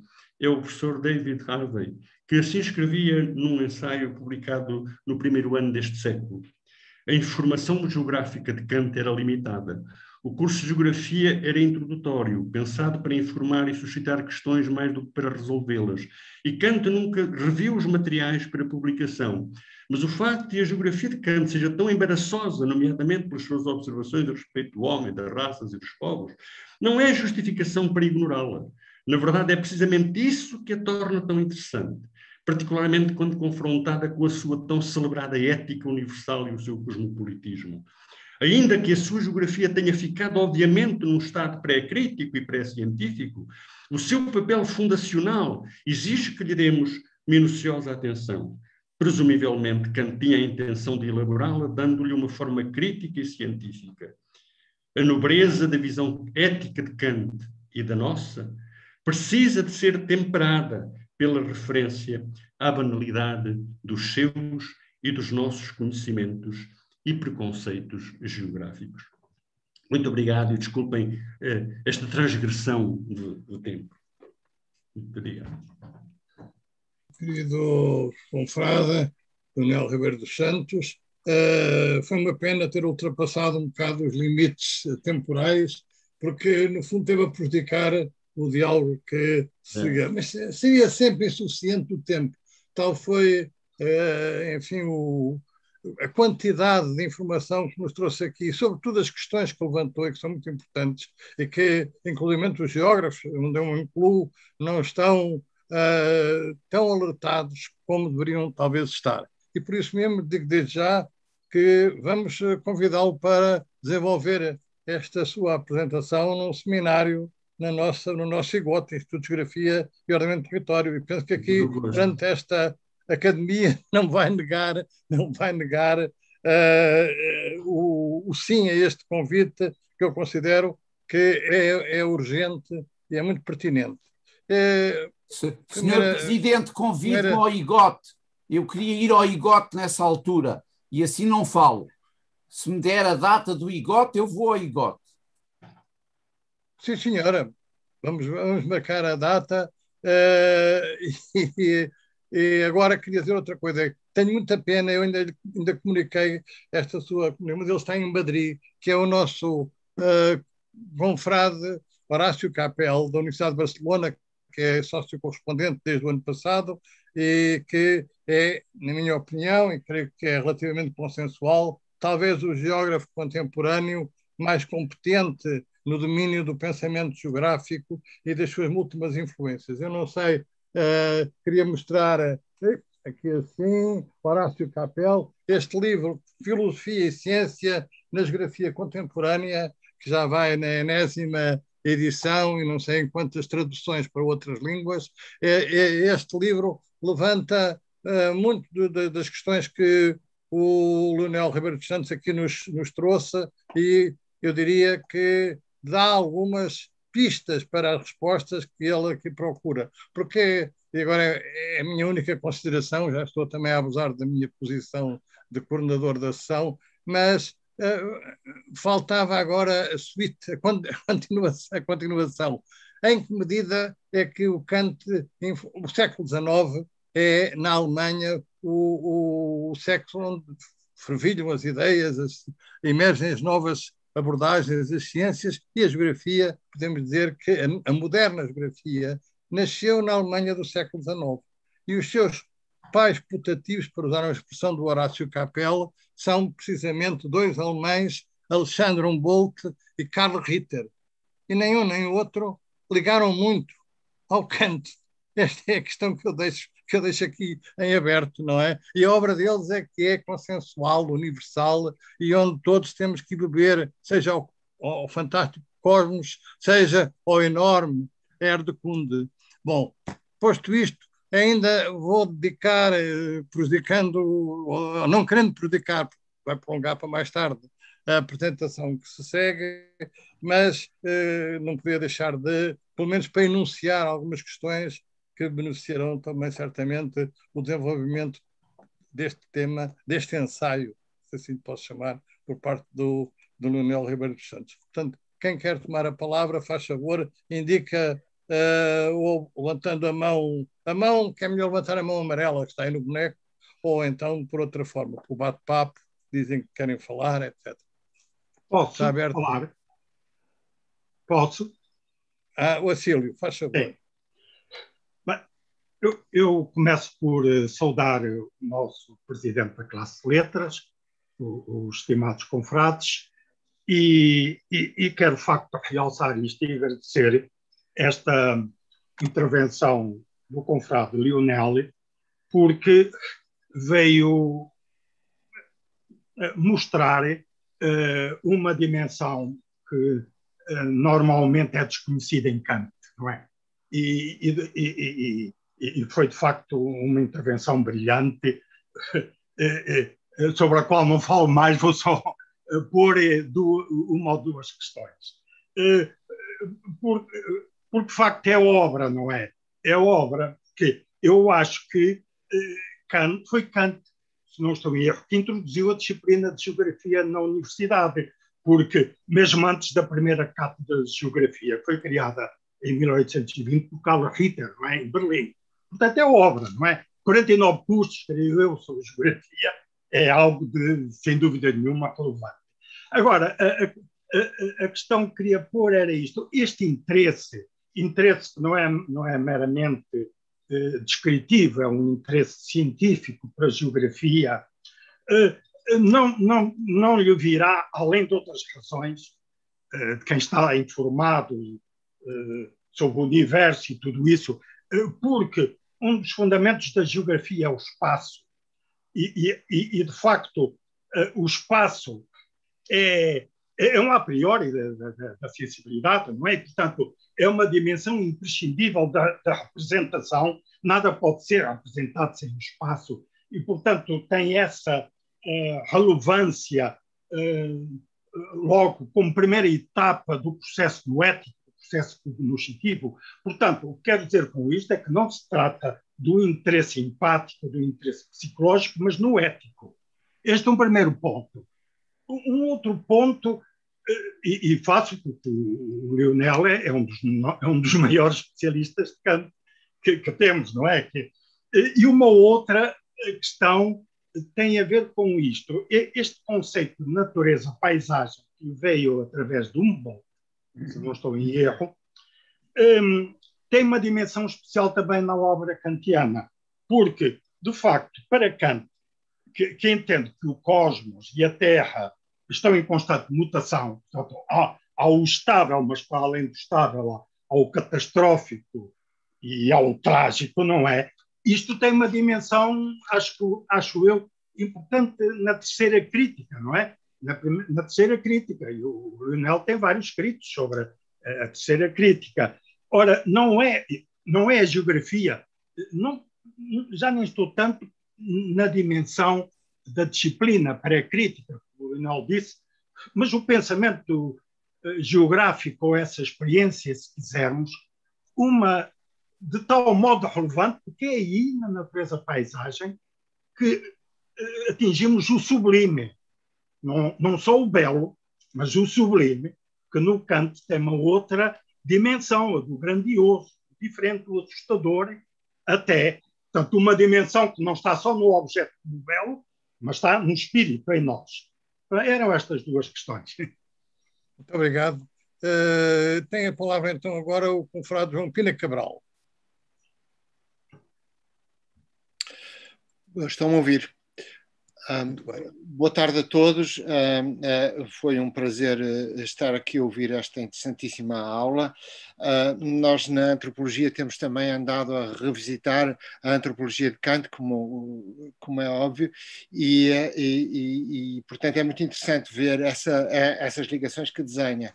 Eu tinha uma pergunta eh, que é quando o, o, o Kant começa por fazer esta relação entre o triato e o ator, não é?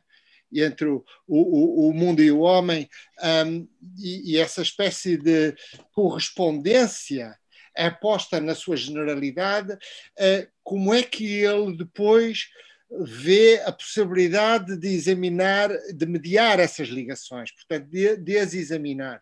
E isso é uma questão que para mim me, me, me parece particularmente interessante, porque eu creio que talvez ela aponte também um bocadinho para alguns dos problemas que a antropologia de Kant tem, que na sua generalidade nós abarcamos, mas depois na sua particularidade é, é problemática. Então fica aqui esta pergunta e, e, e agradeço-lhe imenso a sua interessantíssima pergunta. Muito, muito obrigado. Uh, pelo meu apontamento, uma última uh, intervenção que será do Mário Vieira de Carvalho, e peço para, para ser breve, compreenderá, não é, as, as nossas restrições, e de seguida a palavra, a palavra Leonel para, uh, enfim, um, considerações finais. Senhor Presidente, pedi a palavra desde o princípio também. Ah, quem é que tinha. Quem, foi o Michel Renault. Michel, Michel Renault, sim. Tinha pedido a palavra. Desde o princípio, sim, mas não faz mal. Ah, mas foi com o dedo assim, não é? Eu estou muito mal, eu tenho aqui uns problemas de, de, de visão, peço desculpa. Uh, então, a seguir ao Mário Carvalho, o Michel Renault foi o primeiro a levantar o dedo, será o último a apresentar a sua questão. Então, obrigado, Mário Sr. Presidente. Muito obrigado, Sr. Presidente. Queria agradecer a comunicação do, do nosso prezado confrade, que, que gostei imenso de ouvir e com a qual aprendi imenso. E a minha questão é muito breve, é sobre a relação com o Rousseau e sobre uma tese do Rousseau que tem a ver também com as condições geográficas dos povos, que é aquela tese que eu acho interessantíssima sobre uh, a origem das línguas. Uh, segundo a tese do Rousseau, as línguas nórdicas são línguas de trabalho, são línguas de necessidade pura, são línguas da razão, são línguas da dominação da natureza e por, e por isso mais afastadas da música, e as línguas meridionais são línguas da paixão, do amor, do desejo, eh, mais da fruição da natureza, mais próximas do estado da natureza, e por isso são as mais musicais. Até que ponto é que eh, esta tese do Rousseau terá ou não sido também acolhida em alguma medida pelo Kant. Não desconheço, mas já agora gostava de ouvir. Muito obrigado. Já vamos ver isso. Muito obrigado. Michel Renault. Muito obrigado, Sr. Presidente. Queria felicitar o nosso confrade uh, de hoje, que já nos habituou a exposições rigorosas e muito bem apresentadas. Uh, a primeira questão, mas demasiado vasta, seria a relação que já indicou desde o princípio entre os cursos de geografia e crítica de razão pura. Disse que, do ponto de vista de crítica de razão pura, é uma espécie de exposição topográfica, por exemplo, das categorias, e em sentido contrário, será que se pode discernir já nos cursos de geografia um elemento que faria pensar na teoria transcendental do espaço e do tempo. Fiquei atento também com a evolução das problemáticas entre os cursos de 1755, 65 e 67, onde Uh, se mostra uma relação cada vez maior entre os aspectos políticos e os aspectos físicos, físicos e políticos, e se, quando falou também de, de, de, análise por Kant do confronto entre o homem atual e o homem primitivo, esta relação temporal, será que tem uh, já um indício de uh, uma prefiguração da sua tese futura ou não? E de, segunda e muito breve questão, falou de geografia entre, de, de, dos seus aspectos antropológicos e éticos, e será que há uma atenção por parte de Kant ao problema do sofrimento dos seres humanos. Do ponto de vista, uh, do ponto de vista ético, sublinhou no fim da sua exposição que a violação numa parte do globo, dos direitos do homem numa parte do globo tem uma repercussão sobre to todos. Mas será que há qualquer coisa de semelhante sobre o sofrimento involuntário pelo qual passam os seres humanos na sua situação, respectivamente geográfica e antropológica? Muito obrigado pela sua exposição. Obrigado. Uh, Lunel, tem a palavra para as considerações finais e lembrando, lembrando as restrições do tempo. Muito obrigado. Sim, muito obrigado. Antes de mais, eu penitencio-me perante o, o, nosso Presidente e também perante todos os, os, os, académicos pelas minhas transgressões. Um kantiano não deveria transgredir, não é? uh, mas, uh, Uh, enfim, e uma coisa que eu queria dizer era o seguinte: é que eu, eh, eu na verdade, eh, não apresentei sequer completamente metade da, do que estava previsto ou do que eu tinha pensado, mas eu disponho-me, se os, os, os académicos tiverem, os que tiverem interesse nisso, isso que comuniquem à nossa secretária, uh, a senhora Ana Silva, que me deem o seu e-mail, de alguns eu, eu, eu tenho, mas que eu, enviarei na, na, próxima semana uma versão de, do texto para, para poder, enfim, para poderem eventualmente até responder a algumas destas questões eh, melhor alguma destas questões. Eu agradeço muito todas as questões que me foram colocadas e todas elas dão não para um seminário, mas para, para, para vários seminários, eh, porque remetem para campos muito diferentes. Eu vou uh, começar, evidentemente, pela, pelaquela, e, agradeço as palavras uh, de apreço de, de vários colegas uh, que muito me, me sensibilizam. Uh, evidentemente, o, o, resultado foi um pouco atabalhoado, por, pela, não só pela, pela pressa, mas porque ficou um pouco inconcluso na sua explicitação de, de, de, alguns dos pontos que precisamente agora me são questionados. E, e, e começo pela, pela, pergunta que o professor, eh, que o nosso presidente, o professor Jorge Gaspar, me, me coloca. E evidentemente aceito com o máximo prazer, é só uma questão de, de compatibilizarmos datas. Esta colaboração que vem de, de, já dos tempos da minha juventude na, na, na, faculdade, com alguns colegas geógrafos. Uh, e, e, com muito gosto aceito esse, esse desafio de, de colaboração. A questão que coloca em relação a, a, qual foi a presença de Kant no século XIX na Alemanha, no tempo em que se consolida Uh, com intermitências, também é verdade, não é? Depois do Ritter também houve ali um, um lapso de tempo em que a Universidade de Berlim não teve, não teve ensino de geografia. Uh, mas, sem dúvida, houve, houve essas duas grandes figuras, que foram Alexander, Alexander von Humboldt e o, e o Karl Ritter, que foram as duas grandes figuras do, do pensamento geográfico alemão. Eu diria um mais geografia natural, naturalista, romântica, botânica, um outro mais a geografia humana histórica, portanto mais a dimensão, se quisermos hoje, uma geografia histórico-política, mas são duas vertentes diferentes. Agora, é verdade, há uma referência a outra vaga do Humboldt ao Kant, há no Cosmos algumas referências ao Kant, são sempre, elas foram já analisadas eu próprio tive um, tenho um ensaio que não está definitivo uh, sobre isso. Uh, não, não são inequívocas de grande apreço por Kant. Uh, geralmente fala do Kant como um grande gênio, um grande homem, mas depois, quando vem a análise das teses concretas, por exemplo, em cosmologia, prefere as do, as do Laplace. Eh, portanto, ou seja, não há, uh, parece, há alguma literatura sobre isso. Ah, o Renato ainda não começou. Não estou a descobrir.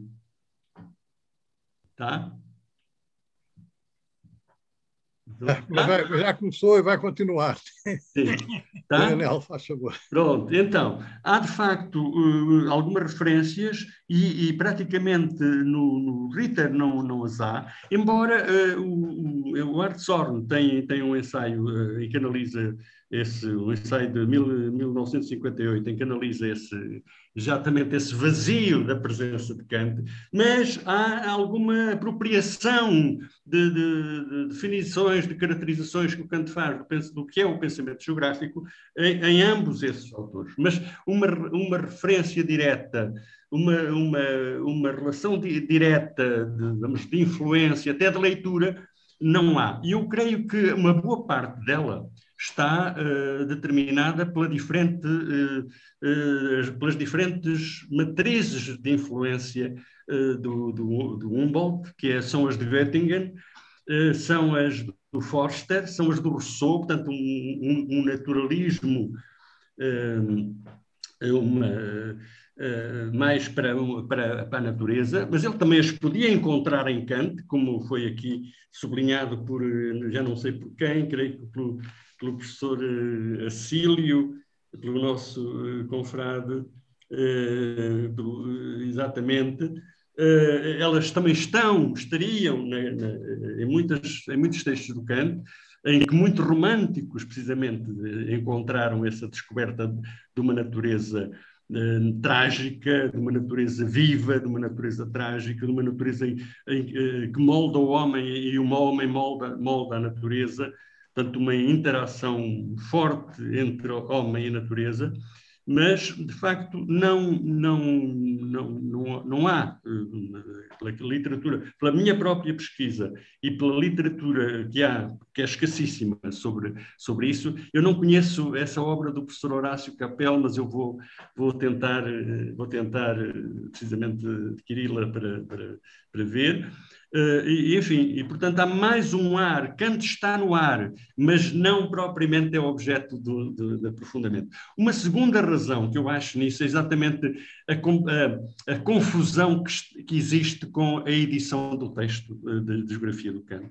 Aquele, uma, uma, digamos, uma edição pirata, uh, feita a partir de apontamentos de, de alunos que o, o livreiro encontrou, e, portanto, sem qualquer sentido crítico. A edição do RINC é uma edição que, feita com, com cuidado editorial, sem dúvida, mas muito limitada também. Uh, provavelmente foi mesmo verdade que ele teve dificuldade em decifrar, em decifrar os, os, os apontamentos uh, do Kant e, e dar-lhes dar ordem. Uh, se nós lemos o texto da geografia, de facto, o material está, as diferentes partes do material estão organizadas uh, diferentemente. Não há sequer uma, do ponto de vista arquitetónico, e o Kant prezava muito esse aspecto, não há uma, uma, uma arquitetónica geral da obra. há repetições, há muita, muita injunção própria, nota-se, sobretudo ao nível da bibliografia, obras saídas naqueles últimos anos do, em que o livro saiu, 2000, 1802, que o Kant já não podia estar a seguir aquela produção bibliográfica, Há, há, textos em que ele se refere ao autor, ao Kant, eh, eh, como se o Kant, que, se ele acabasse a obra que está, em que está envolvido, dar-nos a resposta a esta questão. Enfim, portanto, há, há, há um trabalho editorial que, eh, sem dúvida, é, é devoto, era um discípulo do Kant, era um aluno, um ex-aluno do Kant, era um amigo do Kant, mas uh, a crítica tem posto muita dificuldade. Eu creio que os leitores da época também devem ter sentido essa, essa resistência, essa pouca, pouca hum, fidelidade, pouca fiabilidade em relação àquele, àquele material. Mas é uma pena, de facto, que Kant, a primeira tese que é feita sobre, sobre a geografia do Kant é no centenário da morte do Kant, na, na sua própria universidade, um tal Vili Kaminsky. E, e, depois há, há, muito poucos estudos, de facto, sobre, sobre a, a, esta, este texto e esta parte do, do, do pensamento de Kant. Eh, nos últimos anos, há efetivamente, eh, e eu até diria, na, no espaço anglo, anglo-americano, um renascer de, de, de, de, atenção para alguns aspectos deste pensamento. Algum muito vai para aquela linha da questão do colonialismo, do racismo, da teoria das raças, que estão agora na agenda, digamos, do pensamento. Eh, mas há outros autores que valorizam muitos outros aspectos, eh, como, não só como objeto de, de estudo histórico, comparativo, mas também porque eu valorizo mais, eh, como foi, penso eu, perceptível, pela, pelo que este aspecto mostra da substância e da forma do próprio pensamento de Kant, mesmo daquele pelo qual o Kant normalmente é, é, é, é mais considerado. Professor, não sei se, se foi suficientemente claro nesta sua pergunta, tem todo, tem todo, todo sentido e, de facto, eu aquilo que sei e aquilo que tenho lido sobre é que não há uma, uma há vagas referências, mas não se pode falar propriamente de uma, de uma uh, influência direta. Eu sinto-me beneficiado na resposta, mas uh, e, eu vou dizer a seguir enfim, peço a todos que me perdoem, Não. mas tenho que dizer, são 16h34. Ah. Ultrapassamos uh, todos os limites. Portanto, eu pedi agora ao Leonel para sintetizar os outros comentários. Perdoem-me os outros intervenientes, nomeadamente Sim. Mário de Carvalho e o Acílio, esta, é. este, este meu assambarcar do saber do, do Leonel. Pois. Bom, então, hum, eh, em relação à questão que o professor Acílio me, me, coloca, e há também, eu creio que o professor eh, Michel Renault ia um pouco no mesmo sentido, até que ponto é que eh, a questão da geografia se, se, se, liga com a questão do espaço? Obviamente se liga com a questão do espaço. Eh, Kant, quando define eh, no curso de Geografia e nos programas de Geografia essa relação entre a geografia e o espaço, enquanto, por sua vez, a história é a relação com o tempo, sem dúvida está a dar-se conta da, do papel configurador que, essas, eh, que aquilo que ele mais tarde chamará intuições a priori da, da sensibilidade humana, as formas como nós acedemos ao mundo, não como, como que tiramos do mundo, mas no qual distribuímos, colocamos os objetos do mundo e os objetos do nosso sentido interno uh, uh, da, consciência. Uh, portanto, sem dúvida, é um, é um momento também nesse aspecto, se pode dizer que essa, essa hum, atenção à espacialidade e à, e à temporalidade o encaminha no sentido de, de, de encontrar a pertinência e a importância dessas duas formas, eh, como ele chamará depois, a partir de 1770, formas a priori da sensibilidade humana. Não são conceitos nem são objetos, não é? Portanto, eu, eu, para mim é, é uma das questões mais mais paradoxais da, do, do, pensamento kantiano, essas, essas, esse, eh, essa, essa tese que ele manterá até ao final da sua vida. Nas páginas do Opus Póstumo reedita uma e outra vez. Portanto, há uma, uma, é uma questão não ética, é uma questão de conhecimento também do mundo, não é? de organização do mundo, distribuição do mundo. Sem dúvida, não é? Uh, depois. Coronel, eu eh, esqueci-me de referir as outras duas intervenções estão Sim. também à espera da sua reação. Em relação ao... João Pina Cabral e Michel é, Renault. Isto é um mundo em relação, eu, eu diria, eh, em relação, se, se os, os, os, os, pesadíssimos colegas quiserem dar o seu e-mail à, à senhora Ana, eh, eu mandar-lhes alguma literatura que, eh, própria que possa responder a, a, a, ambas as questões. Por exemplo, em relação, ao, relação com Rousseau, em relação ao problema da origem das línguas, eu não, não conheço que o Kant tenha especial tra trabalho ou reflexão sobre esse aspecto. Agora, tem, obviamente, sobre os outros escritos do Kant, sobre a origem, sobre as ciências artes, sobre a origem da desigualdade, o Emílio, o Rousseau, a novela Louise, enfim, sobre todos esses, ele tem muito que dizer, né, que ele reduzia nos chamados três paradoxos de Rousseau, não é? E, e eu, sobre isso eu poderei depois, eh, para o queridíssimo amigo, o professor Mário Vieira de Carvalho, dar uma resposta um pouco mais, mais desenvolvida. Uh, em relação ao, o mesmo diga em relação ao colega, ao prezadíssimo confrade João Pina Cabral, a questão da antropologia, eu penso que essa questão eh, não, não tratei porque não li a parte onde isso figurava, isso uh, explica-se por uma questão que, a partir do ano 75, uh, eh, no curso de antropologia, pela primeira vez, liga esses, esses, esses campos, a geografia, a história, a antropologia, a filosofia política. É aí que nasce a filosofia política do Kant, segundo tenho em vários artigos uh, tentado mostrar. E é aquilo que, nós, que o Kant depois virá a, desenvolver na terceira crítica de Kant a crítica do juízo teleológico. É a teleologia que liga. A teologia é esse, há o discurso empírico da geografia e da, da, história, há o discurso transcendental e há o discurso que liga a perspectiva transcendental uh, com o discurso empírico. E esse é o discurso teleológico. E é, diz-se, num tema que aparece, num contópico que aparece eh, com toda a clareza, já no formulado naquele ensaio de 1784, ideia de uma história da humanidade numa perspectiva cosmopolita, mas que foi esse ensaio foi é um sumário de um tópico que foi desenvolvido na última secção do curso de antropologia desde o ano 75, sucessivamente, até anunciado no final do curso de 81 esse, esse ensaio, que só será publicado quatro, três anos depois. Bom, e é a ideia de um, um secreto plano da natureza.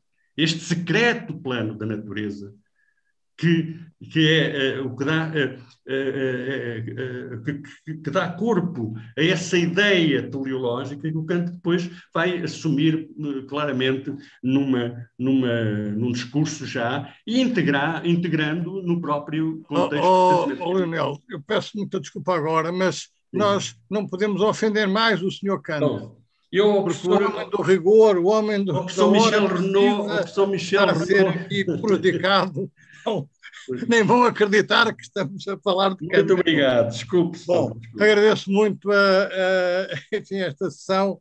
Eh, eu, como não sou um kantiano, fico feliz da vida por esta coisa, mas o mesmo não dirá o, o nosso querido confrade brasileiro, peço o Renato Flores, que nos traz aqui assim uma novíssima novidade. Eh, que é fruto também da sua reflexão ao longo deste período pandémico e de um livro que está para sair uh, por, estes, por estes dias, ou pelo menos nos próximos meses, uh, e não vou mais não vou perder mais tempo com estas uh, divagações. Passo a palavra com pedido de desculpa enquanto coordenador, descoordenador desta sessão ao querido Renato Flores, para nos falar então, é, vou só reler o tema: O mundo que o Covid mudou. Tem a palavra. Ah, muito obrigado, senhor presidente. É uma grande honra e um enorme prazer estar aqui e me dirigir a diversos confrades e amigos. Ah, dentre os confrades, alguns que conheço há décadas, em trabalhos e conversas, e também alguns amigos de muitos anos. Então, realmente a minha alegria é enorme. Nós acabamos de ter uma palestra sobre Kant, né? o sábio peripatético de Königsberg, que não resolveu o problema das pontes de Königsberg, foi Euler que foi resolver depois, né? não se pode saber tudo. E a nossa palestra, como bem disse o senhor presidente, foi em tempo kantiano. A minha palestra, eu não sei quem organizou o programa, talvez tenha feito de propósito, eu temo que não será muito kantiana, será mais nietzschiana, com toques de Derrida. E eu espero também é, apresentá-la em um tempo nietzschiano. Muito bem. Como eu coloquei no resumo que enviei à senhora secretária da presidência, é, essa palestra diz respeito a um pequeno livro, é um livro de 35 mil palavras, assim obrigava a coleção, é, sobre o mundo pós-Covid. Essa é que é a ideia. Agora, por favor, né, é, falar sobre o mundo pós-Covid é, ocuparia uma enciclopédia. Há um número imenso de questões a serem tratadas. Então, a primeira coisa que é importante é colocar o objetivo da minha palestra e do meu livro. O objetivo é fazer uma discussão geral sobre como vai se colocar a ordem mundial. Dizer, há, há milhões de perguntas, as pessoas dizem: ah, é, home office vai continuar? Em que proporção? Vai se continuar a encomendar comida? Vão fechar os restaurantes? Essas questões são todas relevantes. Eu não trato dessas coisas no livro, ok? Eu trato é mais uma perspectiva de geopolítica, como é que deverão se alinhar as potências, como é que deverá se alinhar a ordem mundial nesse momento, vamos dizer assim, idílico em que nós tivermos a pandemia sob certo controle, não é? Quer dizer, como é que vão ficar as coisas?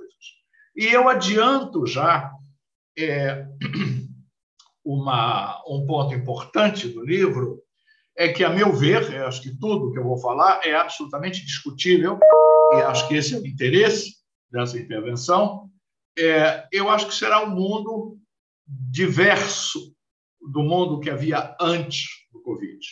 Esse é um primeiro ponto. Não é que durante a, a, o coronavírus temos tido uma aceleração de coisas que já estavam em curso, como o uso do digital, etc. Sim, isso houve. Mas nós vamos vivenciar um mundo distinto do mundo antes da pandemia. Esse é um ponto uh, que eu levanto. E o que eu faço como um auxílio para nós analisarmos os diversos problemas que podem ser colocados, porque, como eu disse, o número de questões a nível de detalhe, como o número de questões a nível maior, mais amplo, é muito grande. Eu proponho que nós é, façamos a análise de cada questão segundo dois eixos que me parecem ser os dois eixos normativos do grande contexto que nós vamos enfrentar. O primeiro eixo diz respeito à evolução das relações entre os Estados Unidos e a China. Eu acho que essa tensão será uma tensão determinante no mundo pós-Covid. Já estamos a ver o presidente Biden continuando e de forma até digamos, mais agressiva a política do presidente uh, Trump, que era uma política, como diz os americanos, uh, bipartisan, apoiada pelos dois partidos, com relação à China. Então, eu acho que a questão da relação Estados Unidos-China ela determina um eixo importante para se analisar qualquer macro problema, qualquer macro questão que vai se colocar nessa realidade. A outra dimensão é uma dimensão que sofreu um pouco durante a pandemia e é uma dimensão muito importante. Ela diz respeito à solidariedade entre as nações, que é uma coisa muito importante. Dizer, se nós, por exemplo, no mundo pós-Segunda Guerra Mundial, encontramos em Bretton Woods uma enorme é, concordância em criar, por exemplo, as organizações de Bretton Woods, nós hoje em dia, eu diria, estamos a vivenciar uma triste situação de ausência de solidariedade mundial. Quer dizer, o, a pandemia deu vários exemplos, no momento que as nações desenvolvidas é, se recusaram a abrir a patente das vacinas em reunião que houve na OMC, como diz um, um amigo meu indiano, isso foi uma fantástica demonstração de boa e solidária governança mundial. Como, assim como esse exemplo, há várias é, atitudes que ocorreram e que mostram, não é nenhuma novidade, o agravamento de uma situação de baixa solidariedade. Há um lado compreensível. A pandemia foi horrível, não se sabia o que fazer, as nações tiveram que se voltar para dentro por uma parte. A explica em parte, mas não justifica a enorme, horrível falta de solidariedade. Então, a minha proposta para nós analisarmos, e esse é o outro ponto importante do livro, é nós eh, montarmos um, um, um esquema em que nós colocamos, vamos supor que nós podemos é, medir linearmente essas intensidades. Então, nós fazemos um eixo horizontal com a, a piora ou a melhoria das relações Estados Unidos-China e um eixo vertical em que nós colocamos a piora ou a melhoria da solidariedade mundial. Esses eixos se cruzam num ponto. O ponto era a situação antes da pandemia, correto? Então, o que pode ocorrer no futuro, eu, posso andar no eixo horizontal, é, imagine nas suas cabeças, como diria o Boyce, é, posso imaginar para a direita, melhora a relação Estados Unidos-China, para a esquerda, piora, para cima, a mais solidariedade, para baixo, a menos solidariedade. Eu proponho essa moldura básica. Mas a moldura básica não é suficiente nós temos que adicionar alguns complementos. Obviamente, muitíssimos, mas há que se fazer escolhas. Né? E eu adiciono na análise de possíveis questões, eu acho que dois conjuntos de atores muito importantes. O primeiro eu chamo as potências intermediárias, que são Qualquer um pode fechar os olhos e cantar dez potências intermediárias. Nós temos várias potências intermediárias no mundo. E essas potências vão desempenhar papéis relevantes dependendo do problema. Então, conforme o problema que vai se analisar, há que se adicionar, há que levar em conta as potências intermediárias que desempenham ah, algum papel ali. E também nós temos aí um universo de potências intermediárias que poderão, em algum momento, também criar coalizões que podem ficar importantes. Então, esse é o primeiro grupo de atores.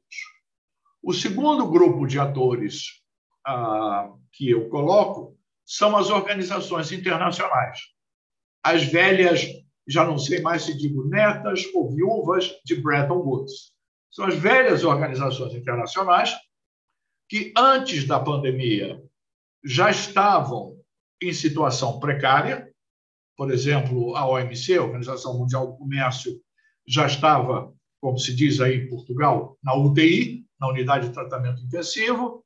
É, a, a OMS, a Organização Mundial da Saúde, que teve o seu papel durante a pandemia, mas certamente é uma organização que precisa de reformas. É um absurdo que a maioria do seu orçamento seja feita através de fundações filantrópicas, privadas, mas como é que se pode ter uma organização internacional cujo controle é, dos projetos é feito por fundações privadas? É uma coisa um pouco esquisita. Então, nós temos a Organização Mundial da Saúde temos uma galáxia de é, instituições que ainda contam. E esse eu vou voltar a esse ponto mais adiante. Então, esse é o meu segundo grupo de atores. Além dos atores, nós temos grandes questões. E aí a, a, a questão da escolha ficou mais difícil para mim, porque eu destaco três questões muito relevantes e que todas vão ficar mais graves, mais sérias após a pandemia. A questão da desigualdade, e a desigualdade vai assumir características múltiplas, não só na parte monetária, não só na parte do rendimento, eu vou elaborar um pouquinho sobre isso mais adiante. A questão do mundo digital, que me parece uma questão gravíssima e que não está sendo tratada como deveria, também vou falar sobre isso. E a questão ambiental lato senso, que hoje em dia há muito frenesi, às vezes, sobre a questão ambiental, que é seríssima, mas eu acho que a questão ambiental ela tem é, vários aspectos. Tem o, o aspecto que se chamava antigamente poluição, que continua sendo um aspecto muito importante. Lembremos da catastrófica situação dos oceanos, é um problema de poluição. Nós temos um problema de alteração climática, que é outra coisa, obviamente eles são relacionados, mas é outra coisa. E temos um problema do relacionamento do, da espécie humana com a biota e com o mundo animal. Isso é um terceiro problema, onde nós temos a questão de, de diminuição da biodiversidade, nós temos o problema de espécies é, animais em extinção. Então, a questão ambiental ela é vasta e eu não gosto de misturar essas três coisas. Eu acho que nós temos, pelo menos, três subclasses muito importantes. Dizia eu, eu tive que fazer uma opção com a, a limitação que o editor me deu de 35 mil palavras.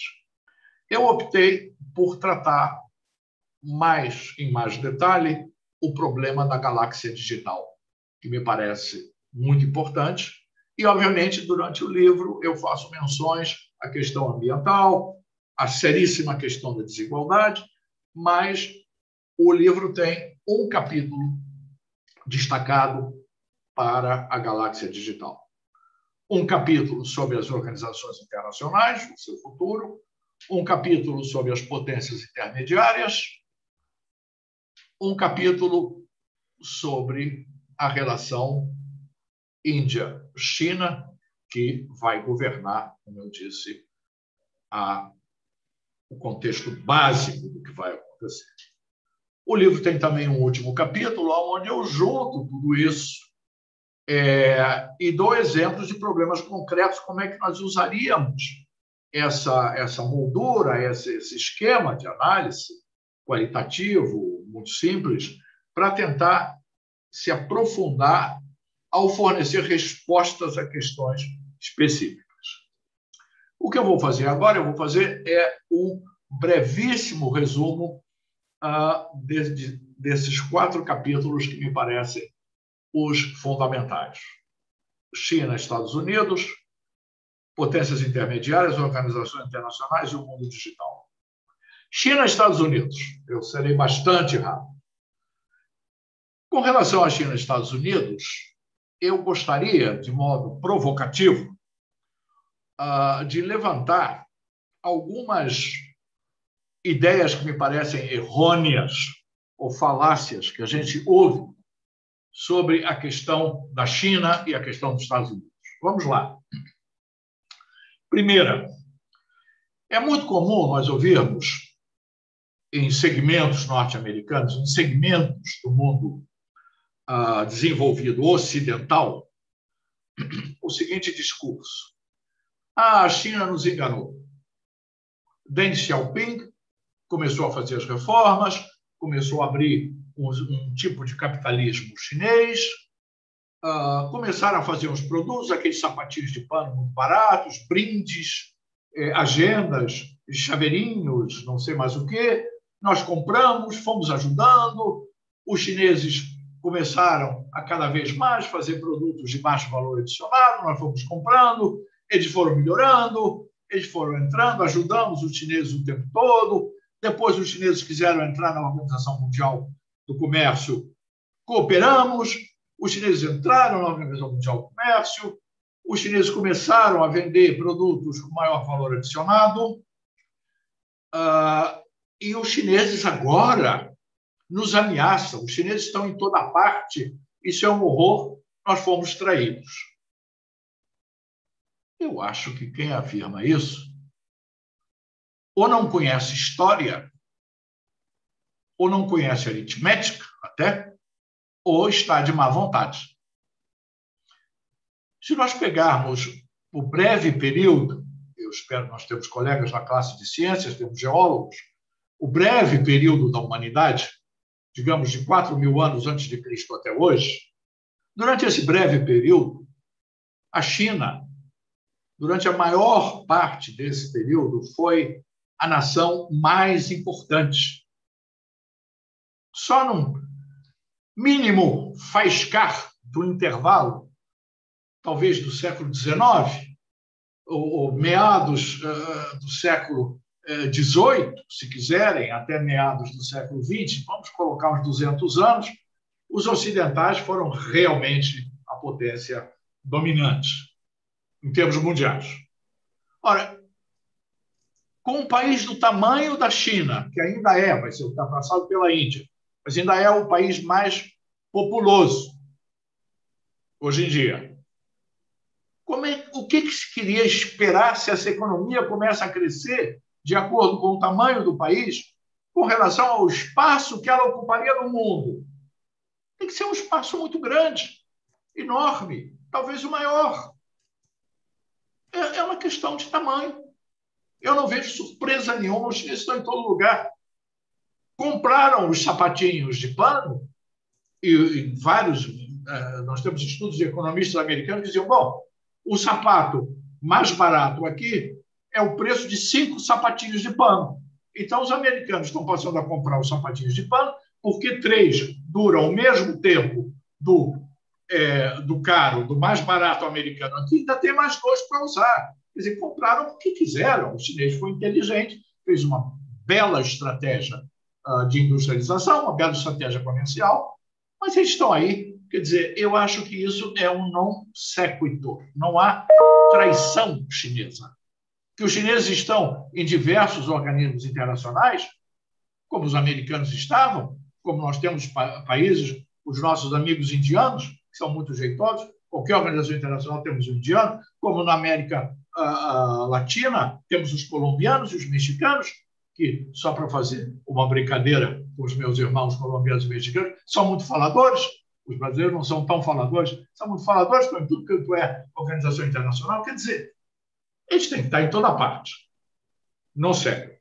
Segunda coisa, que foi objeto de um livro muito famoso, do Graham Ellis, que vai ressuscitar o pobre do Tucídides, que é a, a, a questão do Tucídides.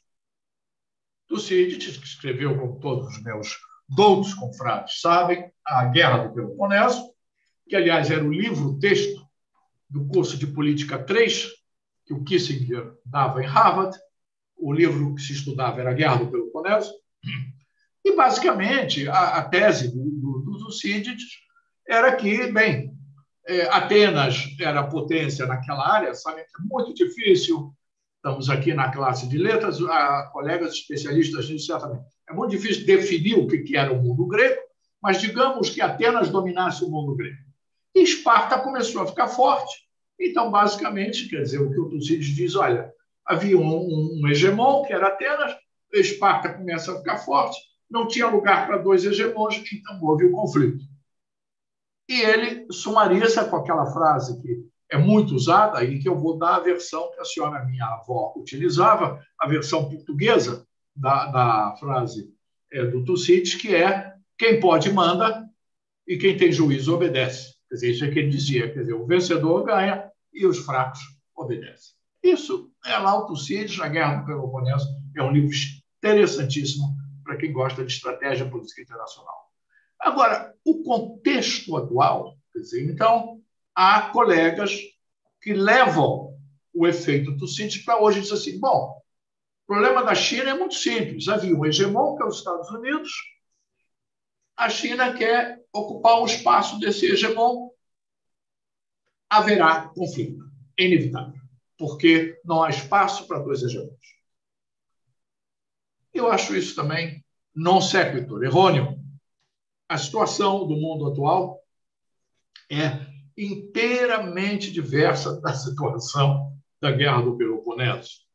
Obviamente, alguns insights e tudo, mas hoje em dia, e esse é um ponto que eu vou voltar talvez mais de uma vez, e é uma das coisas mais complexas do eixo China-Estados Unidos, a interação entre a China e os Estados Unidos é tão profunda, é tão complexa, que é muito difícil nós prevermos exatamente o que pode acontecer, porque há forças múltiplas atuando em diferentes orientações com relação à ligação dos dois países.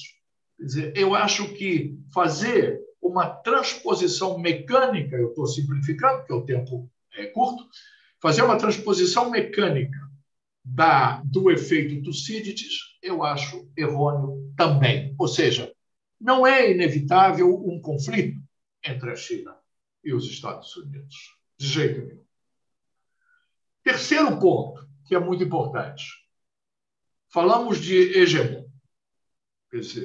Aí há também essa narrativa. A China quer substituir o hegemon. Eu acho que é uma pergunta muito importante que pouca gente coloca. É, será que ela quer?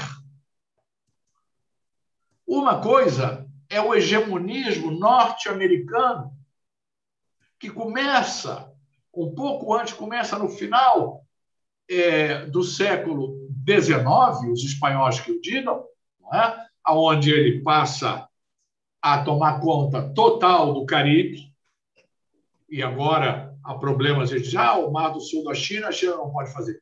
Fizeram igualzinho no, no século XIX, com Cuba, uh, Porto Rico e diversas coisas, tiraram os espanhóis e tiraram a frota britânica, que policiava por ali. Né? E eles disseram, olha, bye bye, não queremos mais ver navios de sua majestade aqui no Caribe. Bem, então, o hegemon americano, e que se consolida depois da Segunda Guerra Mundial, é um tipo de hegemon. É um hegemon ah, ah, vasto, não é? É um hegemon que cuida, porque estava dentro dos interesses dele, obviamente, como os, os analistas mais ilustrados norte-americanos concordam, quer dizer, cuidaram da segurança das rotas marítimas não porque eram bonzinhos, porque era importante para o comércio dos bens deles e para o tráfego de petróleo que as rotas marítimas fossem seguras. E vai por aí afora. O hegemon americano é um hegemon que é, desempenha papéis diversos, múltiplos. Ele é invasivo por toda parte. A China dá sinais de que não quer ser esse hegemon. Então, esse é um outro ponto muito importante é, que tem que ser levado em consideração. A China ela não quer ser esse tipo de hegemon. É uma especulação que eu lanço e que hoje em dia muitos apoiam. Então, a, o conflito é diferente. Da mesma forma como dizer que vamos entrar numa Segunda Guerra Fria é falso. Porque na Guerra Fria, os espaços estavam claramente delimitados. Os espaços estavam claramente delimitados e não havia interpenetração entre as duas potências.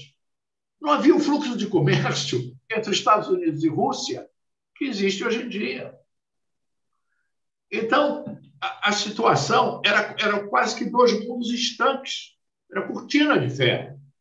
Comércio dentro da cortina de ferro era assunto do Comecon. Comércio fora da, da cortina de ferro era outra história.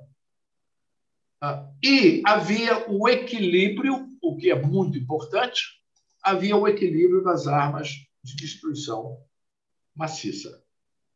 Equilíbrio esse que foi que foi uma evolução da relação dos dois, que deve muito a um, um, economista que me é muito caro e às vezes acho que não tem o reconhecimento que merece, que é o Thomas Schelling, que estudou isso, é o homem que uh, imaginou o telefone vermelho entre Washington e Moscou, que é uma ideia espetacular, diminui a simetria de informação, uh, mas então é uma situação totalmente distinta.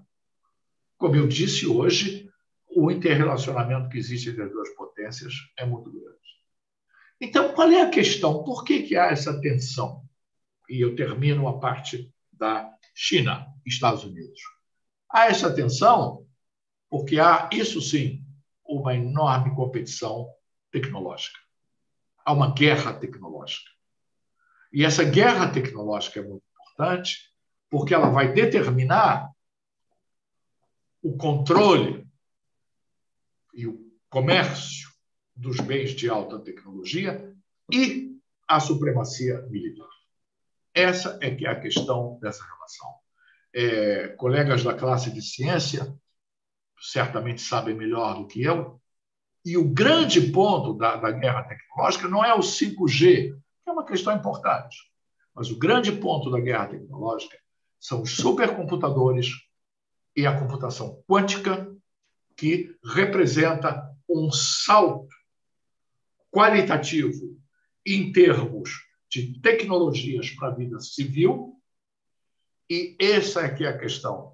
Representa um salto qualitativo fundamental em termos de tecnologias bélicas. E se a China, como está aparecendo, tiver o primeiro lugar com relação aos Estados Unidos na parte de, supercomputação, ela consegue saltar o gap que existe hoje em dia entre a sua capacidade bélica e a capacidade americana e se colocar ou no mesmo nível ou mais importante.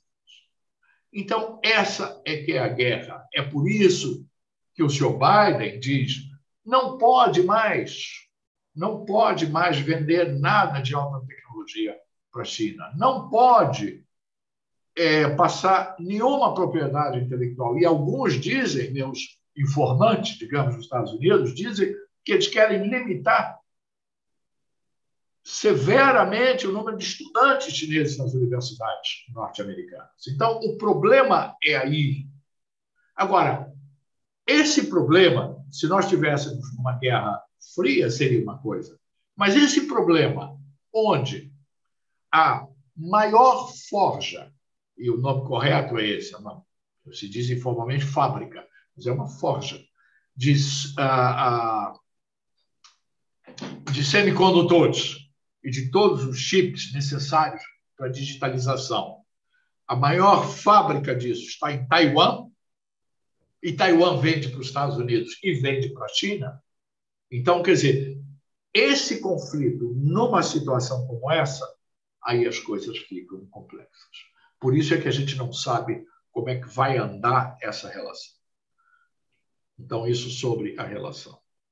Sobre as uh, potências intermediárias, é, eu acho que isso seria um ponto de enorme discussão, porque eu fiz uma seleção das potências intermediárias.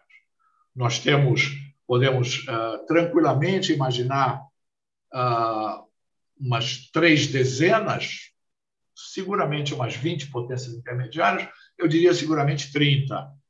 E eu, uh, no livro, eu menciono provavelmente umas 10. Por quê? Porque as potências intermediárias têm uma relevância per se, mas elas têm uma relevância na conjuntura que vai se colocar. E na conjuntura que vai se colocar, eu selecionei as que me parecem ser relevantes. E aí, boa parte dela está na Ásia. A começar, e é uma que eu faço questão de mencionar aqui, a ASEAN. A ASEAN é uma integração regional que compreende os quatro, os dez países do Sudeste Asiático. Se eu me lembrar aqui, posso cantá-los de cor: Indonésia, Malásia, Singapura, Tailândia, Vietnã, Myanmar, Brunei, Camboja, Laos e, como sempre, falta um, uh, que daqui a pouco me ocorre, acho que já falei Singapura. São dez países do Sudeste Asiático que formam uma integração muito interessante para provocar os meus colegas europeus. É uma integração pouco pesada em termos de burocracia e de instituições, mas é uma integração muito ágil. E é só olhar no mapa, rodem lá o mapa para o lado da Ásia, o Sudeste Asiático é uma região crucial, conectando China, com Índia, com Oriente Médio, aonde está o, o, o Estreito de Malaca e uma série de outras coisas. É um ponto crucial da humanidade. E essa região está se desenvolvendo, é um mercado consumidor enorme. E no ano passado, em meio à pandemia, fechou um acordo que se chama RECEP, Regional Comprehensive Economic Partnership com cinco outros países asiáticos. Quem? Austrália, Nova Zelândia, Coreia do Sul, Japão e China. Então, esse espaço vai ser, não há menor dúvida, o espaço central nesse mundo pós-pandemia. E esse espaço condiciona um pouco o comportamento da China e o comportamento dos Estados Unidos também, porque os Estados Unidos querem entrar nesse mercado. Aliás, eles já têm uma presença em investimento direto estrangeiro no Sudeste Asiático. Então, este é um ponto muito importante, com desdobramentos é, diversos. E, por exemplo, só para é, complementar um pouco o que eu falei é, sobre o conflito China-Estados Unidos, os os asiáticos do Sudeste, os membros da ASEAN, têm uma posição absolutamente neutra com relação às duas superpotências. Não estão do lado de nenhuma delas. Existe um artigo muito interessante do primeiro-ministro de Singapura, que ele publicou ano passado no Foreign Affairs, que diz uma coisa muito interessante. Uh, a China e os Estados Unidos, se eles estão em conflito, se eles começam a brigar, para nós, é como se nós tivéssemos dois elefantes pesadíssimos brigando em cima de um gramado. Os dois elefantes são as superpotências, o gramado somos nós, Singapura, Tailândia. Não temos o menor interesse. Não queremos um conflito entre eles. Então, a ASEAN é um ponto muito importante. Temos a Turquia, que continua a ser um país estratégico e o será, porque ela é importante para a Europa, ela é importante até para a Europa Central. Não esqueçamos que na Europa Central, ah, etnicamente, a grande maioria da Europa Central é turca, não é? Ah, e controla, entre outras coisas, geopoliticamente é fundamental, controla as nascentes do Tigre e do Eufrates, E é só olhar a Turquia, ela faz a fronteira com diversos países cruciais. Então, a Turquia é uma potência média muito importante e que vai ter um papel fundamental. Ah, a Índia, todos dizem, o que a respeito da Índia? A Índia, eu elaboro um pouco isso no livro, é a maior incógnita de todas essas potências. Porque a Índia é, não está tão próxima da China como se diz. Uma coisa é ela eventualmente ultrapassar, em termos de população, a China, muito em breve. Outra coisa é chegar ao nível de desenvolvimento da China. Para isso, eu diria que faltam umas boas décadas. Agora, a Índia conta muito. Ela tem também uma, uma localização ah, no Oceano Índico, que é o suboceano do Pacífico. Agora, a Índia é o país mais difícil de se determinar para onde ela vai, porque é um país que é o mestre de uma neutralidade uh, ambivalente. Sempre foi. O grande Nero é o pai dessa história, ele que é o pai dos não alinhados e vai por aí afora. Então, por exemplo, a Índia é uma potência média é, complicada, muito complicada. Não vejo potências médias ah, na América do Sul é, relevantes, a menos que seja para a questão de recursos naturais, onde o Brasil é a mais relevante, mas não há, em termos de determinantes do jogo, ah, não há, é, não vejo na América do Sul, na América Central, nem no México. E, para a tristeza, eu sei que vou receber perguntas e se até alguns que vão protestar, e não vejo a União Europeia também como uma potência intermediária relevante. Ela é importante, mas não é relevante. A Alemanha sempre será. E a União Europeia, em algumas coisas, eu vou citar quando falar da galáxia digital, pode ser relevante. Mas a União Europeia, que continua, continua com a sua falta de atitude firme internacionalmente, apesar dos belos discursos e apesar de coisas interessantes, por exemplo, ela é sem dúvida a região mais avançada em termos de legislação e compreensão de como regulamentar, regular o setor digital. Ela pode dar uma enorme contribuição aí. E, obviamente, é uma coleção de países democráticos, berços de cultura, mas, repito, e esse é um problema importante para se entender a minha colocação. Em termos de relevante nesse mundo pós-Covid, a médio prazo, curto, no máximo médio prazo, não será. Uma Turquia é muito mais crucial, por um lado, do que uma União Europeia. O ASEAN, com a RECEP, é muito mais crucial. Isso é um ponto uh, de debate. Uh, organizações internacionais, muito rápido. É, em meio a organizações internacionais, há sempre uma discussão sobre multilateralismo. O multilateralismo vai acabar, não vai acabar. Eu elaboro um pouco sobre isso e o meu ponto, é, muito em resumo, é que organizações internacionais continuarão a ser relevantes. Nós temos problemas, acho que a pandemia mostrou. Se nós tivéssemos uma Organização Mundial da Saúde melhor do que ela está, eu não chego a dar nota zero para a Organização Mundial da Saúde hoje da pandemia, de jeito nenhum, mas ela não ganha nota 10 nem nota 9, nem quiçá nota 8. Pode ganhar talvez um honroso 7. Mas se nós tivéssemos uma Organização Mundial da Saúde realmente atuante é, e correta, bem estruturada, eu acho que nós teríamos, ah, poderíamos ter evitado vários problemas. Então, as organizações internacionais é o primeiro ponto. Elas sempre serão relevantes. Agora, precisam de reformas.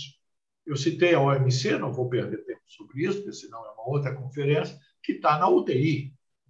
E as reformas, esse aqui é um ponto que vai doer, e isso é um outro problema do mundo pós-pandêmico, é se haverá coragem de fazer as reformas. Porque as reformas não significam, e é um ponto importante, salvar as organizações. Não significa salvar a OMC não significa salvar a OMS, mas fazer uma OMC diferente, adaptada à nova realidade. Isso é um trabalho difícil. Eu penso algumas uh, considerações sobre isso. Isso é um trabalho muito difícil. E a questão do multilateralismo, que nós tivemos mais de meio século de teste profundo e intenso do multilateralismo, o multilateralismo não vai acabar, mas o multilateralismo, feliz ou infelizmente, eu acho que ele vai se reduzir, ele vai ser usado de uma maneira mais reduzida, porque um dos problemas do multilateralismo é a possibilidade de adiar decisões, porque há muitos esquemas que precisa de consenso e a, a possibilidade de criar coalizões de bloqueio para o bem e para o mal. Então, o multilateralismo também é outro tema fascinante que eu acho que ele vai sofrer uma compressão. Passo para o último capítulo que eu vou falar um pouco, que é o mundo digital, antes de concluir. Uh, o mundo digital é um outro assunto extremamente interessante, porque me parece que há uma narrativa eufórica sobre o mundo digital.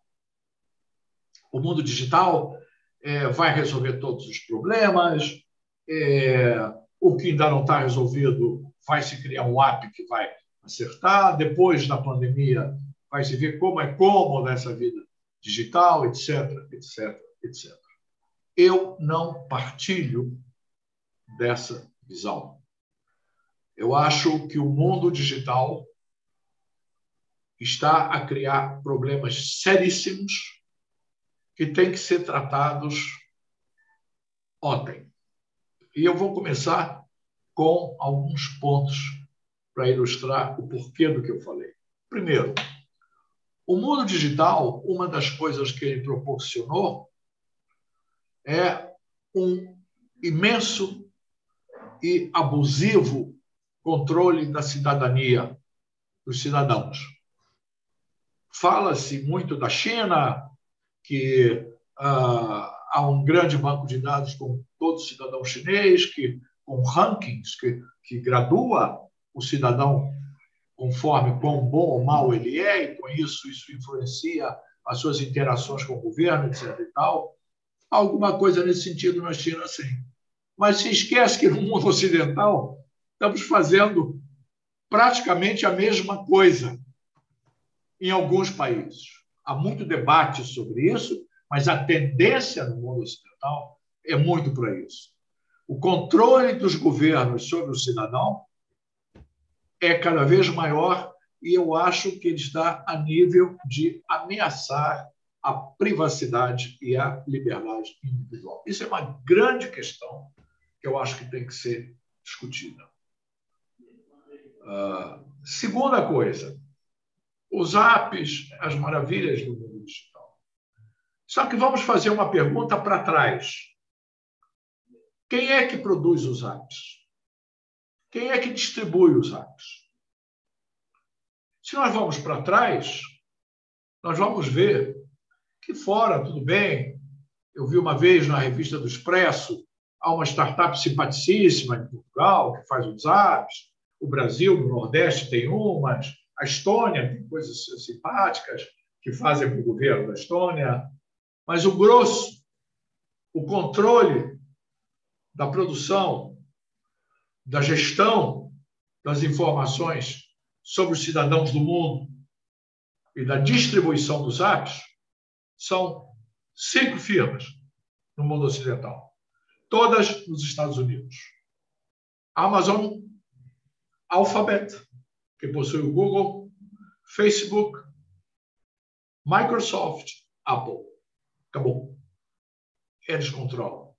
É um oligopólio nos Estados Unidos. E, no lado chinês, Baidu, Alibaba, Tencent.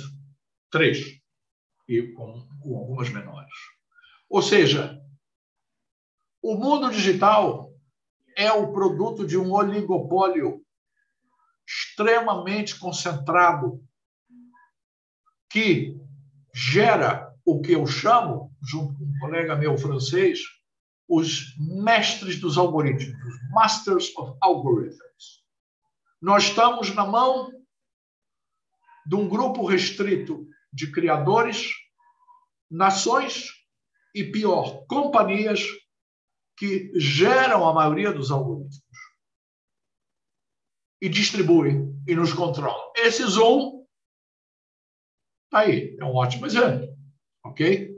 O Uber, ah, é uma maravilha, agora só uso o Uber. Tudo bem, mas eu me lembro da, da greve dos, dos motoristas de táxi ali na ANTAC, lá em Olaias, é, é, protestando contra o Uber.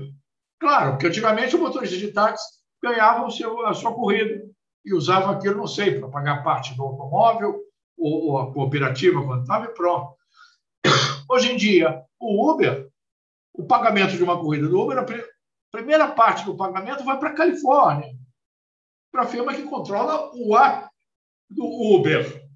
Sem esse app não, não há Uber. Depois vai para a firma de serviços aqui, que muitas vezes é parceira também da firma da Califórnia ou de uma outra firma internacional. E um pedacinho fica para o motorista. Mesma coisa Uber Foods e vai para fora.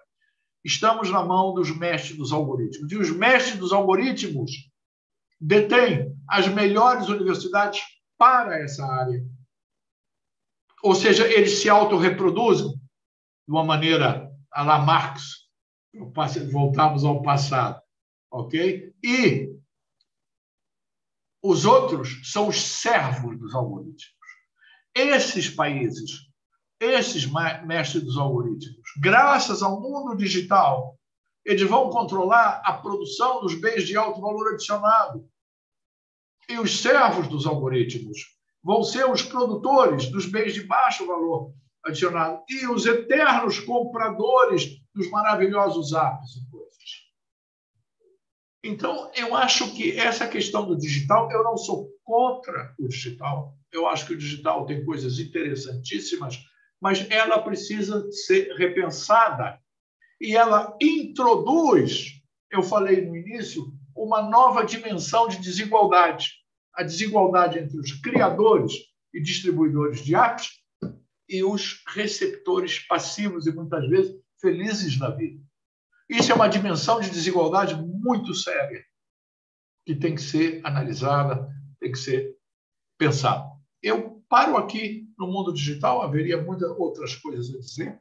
Repito que é uma área onde o espaço mais desenvolvido em termos de pensar essa regulação é a União Europeia, e essa é uma área que, se a União Europeia tiver um pouquinho mais de coragem e assertividade, ela pode ter uma posição de liderança aqui, mas eu vou parar aqui e faço uma conclusão numa velocidade, como disse, Nietzscheana.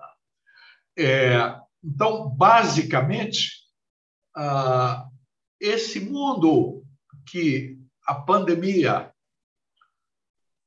vai nos trazer, ele é, número um, completamente distinto do mundo antes da pandemia. Número dois, infelizmente, ele é um mundo mais desigual desigual na parte de renda, desigual pela forma como a pandemia atacou os diferentes países, porque nós ainda não entendemos esse vírus, eu não vou perder tempo sobre uma coisa que eu não entendo, mas a pandemia, o padrão da pandemia na África é diferente do padrão da pandemia na Europa, mas ela prejudicou muito os países africanos de uma forma distinta. América do Sul, então a desigualdade, a pandemia cria mais desigualdade, cria mais desempregados, até nos Estados Unidos, vai aumentar a desigualdade nos Estados Unidos. E é um mundo desigual também pelo lado digital. E o lado digital, eu repito, não é só pelo acesso ao digital, é pela capacidade de produzir e de gerar digital. É um mundo menos solidário, e isso é uma questão que tem que ser muito refletida, porque se for o mundo, se aumentar a solidariedade, a uma maior solidariedade pode se contrapor a uma piora nas relações Estados Unidos-China. Então, há um equilíbrio aí que é importante. E é um mundo com problemas ambientais sérios, onde, inclusive, me parece que há o risco da narrativa ambiental, que é uma narrativa que tem um lado romântico, que tem um lado com, que tem um apelo muito grande, suplantar a narrativa sobre a desigualdade. Aliás, me choca um pouco que fala-se hoje muito da questão climática e não se fala mais da desigualdade, que para mim é pior quase do que a questão climática. Então, é um mundo com esses três cavaleiros meio do apocalipse e um mundo com a questão digital em aberto, correndo solta para o bem e para o mal.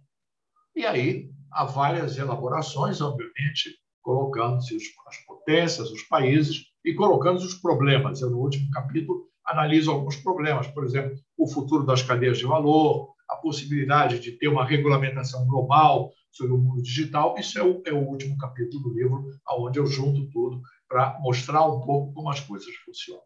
Bem, senhor presidente, muito obrigado. Muito obrigado, muito obrigado. Sou eu, ah, somos todos nós por esta brilhante palestra. Mais do que isso, a demonstração do milagre das 35 mil palavras. Creio que ficou subejamente demonstrado que é possível, mas, de qualquer maneira, ficou em aberto, como disse o resto no fim, uma questão que continua a ser muito importante e não vamos lá, não vamos agora classificá-las, que é a questão ambiental no sentido lato. E desde logo nunca falou-se no ar, na poluição, falou-se no mar, também tem água, mas não se falou da água, da água a água que o Brasil exporta impressionantemente para todo o mundo, sobretudo para a China, sob a forma de feijõezinhos, não é? Mas é água que vai. E, e isso levantar também, creio que também levantará problemas que caberão certamente no mais uns milhares de palavras que a segunda edição deste livro, que auguro um grande sucesso, vai colocar. Bom, posto isto, e passa este intermezzo uh, divagatório para, enfim, retemperar as forças, eu dou a palavra, eu peço preferência ao braço no ar para que ponham a mãozinha amarela no ar. Vão ali às reações e põem a amarela no ar. Mas para já dou a palavra ao Manuel Porto, que tem aqui assim, é o homem que faz a ata e, portanto, pode dominar também estas questões. Manuel Porto. A seguir o Zé Luís Cardoso também. Uh, Paulo Cunha, Paulo Pita Cunha está primeiro, Jorge. Ah, tá bem. O Paulo. Então vá. Não, o, depois, do, pois, depois do Manuel. Não, depois do Manuel. Sim, senhora. Então, tem o primeiro de todos, será? Ou, ou, por várias razões, tem o Paulo Pita Cunha tem a palavra, por favor. Tem. Desculpe, o Manuel Porto está, está distraído. Eu estou, é, estou que estou a perder a bateria. Mas, mas ah, eu, já, eu, já, eu já consigo, só um minuto, só um segundo. Tá Tem que estar à corrente. Só um segundo. Palpite Cunha. Muito obrigado. Eu queria começar por felicitar o nosso querido confrade Renato Flores pela exposição geopolítica tão interessante com que nos apresentou o seu livro no Prelo. Mas queria fazer uma, alguma observação sobre, eh, digamos, a linha geral seguida pela narrativa que nos apresentou é que eu não vejo bem um mundo pós, eh, eh, digamos, eh, pós-epidemia, como ele nos apresenta, porque não vejo a influência, de facto, da vaga epidémica sobre tudo aquilo que ele nos diz. Porque os, os factos que ele nos apresenta, a estrutura geopolítica que está em causa, já vem de trás.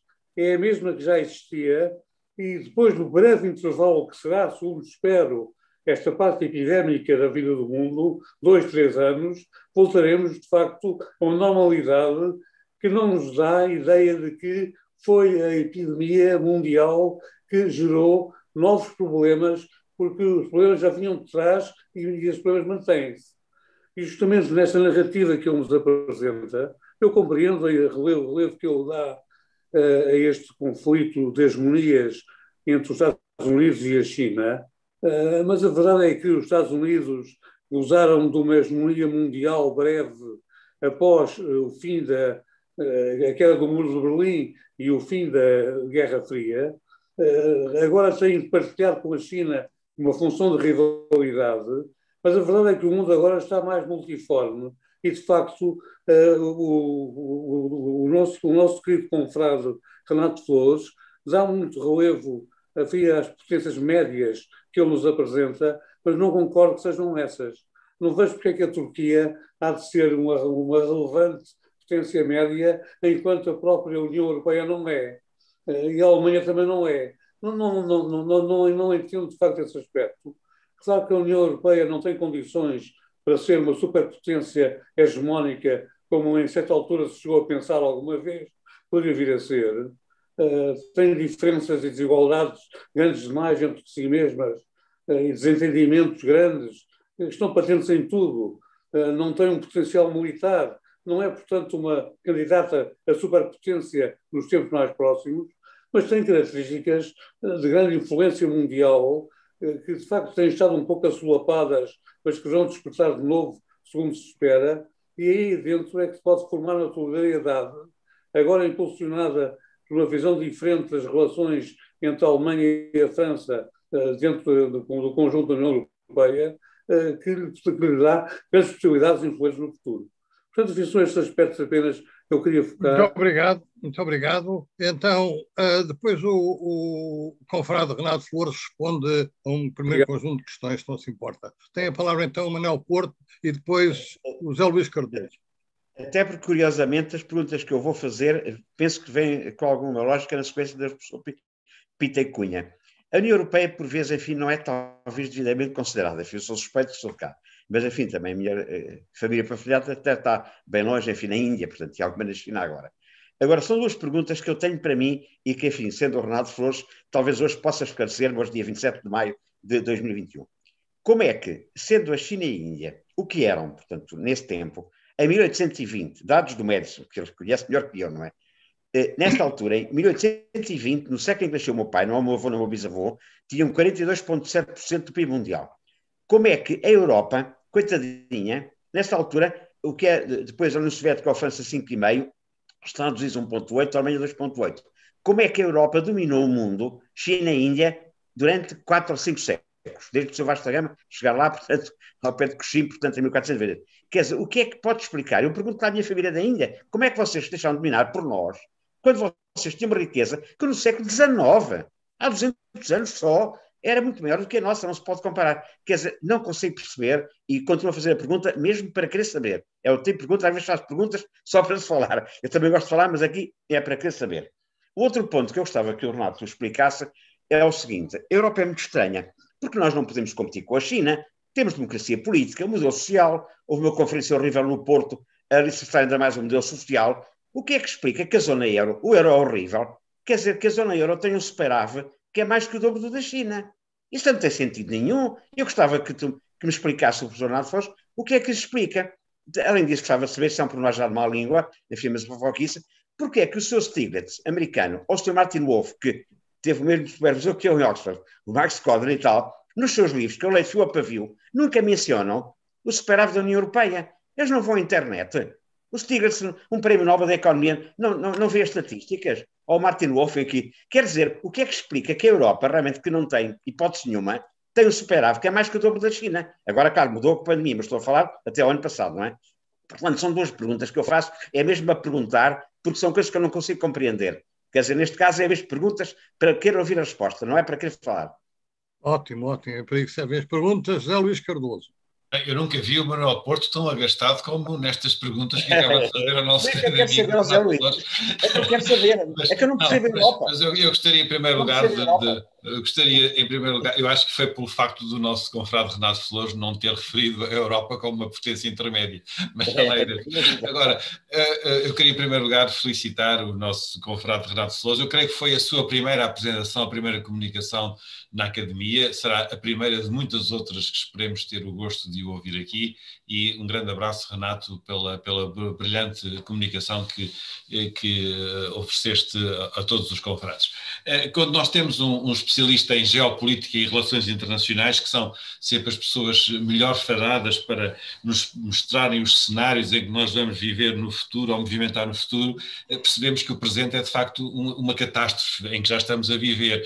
E quando, além desses atributos dos bons uh, uh, especialistas em geopolítica, estratégia e relações internacionais se juntam os atributos de um bom economista, então o mundo em que vivemos é mesmo uh, um mundo perdido, não sei se nietzscheano, mas um mundo muito difícil de viver. Mas eu, eu, apreciei a questão que quero os nossos confrados Paulo Pita Cunha e Manuel Porto puseram relativamente às, às alterações que este que a pandemia que o Covid trata, uh, traz para o mundo contemporâneo, mas há duas questões que me parecem importantes e que talvez, e eu gostaria que o Renato pudesse elaborar um pouco nesse sentido, e que é, a, talvez seja a intensificação da desigualdade e, e sobretudo, a intensificação da desigualdade uh, que resulta, de facto, desta nova galáxia digital que tão bem explicada pelo Renato. E aquilo que uh, a minha questão, no fundo, era mais do que alterações trazidas pelo, pelo, pelo, por este mundo pós-Covid, se não se nós, nós, nós estaremos a assistir, no fundo, a uma há uma situação de, digamos, de dependência de, de, do passado, relativamente ao qual as questões não são novas, mas se intensificam. E, e, sobretudo, aquilo que me pareceu interessante, é mais uma pergunta, mas mais um comentário, é a maneira como, eh, neste mundo em que eh, nós vamos temos que lidar com uma pandemia, no fundo, não conseguimos resolver uh, o problema das desigualdades crescentes no mundo. E era um bocadinho sobre isso que eu gostaria de saber um pouco mais sobre a maneira como o Renato Flores desenvolve este tema no livro. Muito obrigado, Renato. Muito obrigado. Antes de passar a palavra ao confrade Renato Flores, queria abusar da minha posição para levantar uma questão mínima, mas é uma curiosidade também. Entrou a Turquia, não entrou o Irão. O Irão não tem um papel tão bem importante, uh, ou poderá ter. Essa é uma questão que eu quero levantar. E, por outro lado, quero uh, apoiar a ideia de que realmente a pandemia, como todas as outras pandemias, pode criar um, um terreno, pode ser um pretexto agora para levantar as questões, mas a pandemia em si mesmo, creio que não alterou nada. Não é? o que estava antes e o que vem depois tem o uma. Vai. O Reino Foi o que disse. Não, não, é. por Deus. Renato Flores vai elucidar todas estas questões que estamos aqui a colocar. Não sei se vou elucidar ou vou piorar as dúvidas. É, vamos lá, eu vou tentar novamente, é, rápido, tentar. Os pontos são interessantíssimos.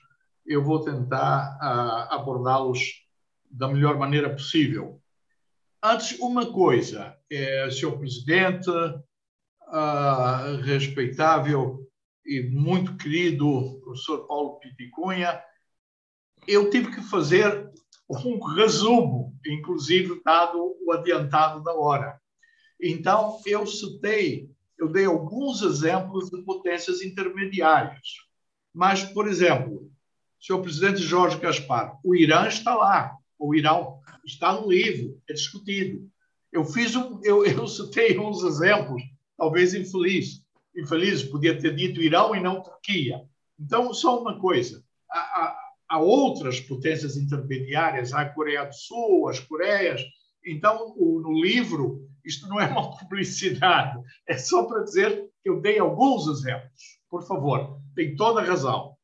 É, inclusive, eu falo da União Europeia, uh, principalmente né, da uh, Mutter Deutschland, da, da Alemanha, eu falo também da União Europeia, ela não é desprezada. Quer dizer, como eu disse, há várias potências intermediárias. No livro, eu selecionei as que me parecem relevantes e, na exposição, eu dei alguns exemplos.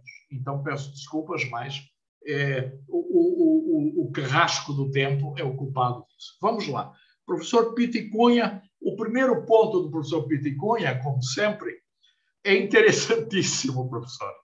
E a, a sua a pergunta eu não faço toda semana quando eu leio o título do livro, que é o que o senhor disse que é muito, é muito curioso. É, onde está a vaga epidêmica nessa história toda? Quer dizer, onde é que está essa coisa? O mundo que o corona mudou e onde é que está a vaga epidêmica? Tudo, tudo que falaste faz sentido, mas eh, havia antes, quer dizer, onde é que está a epidemia?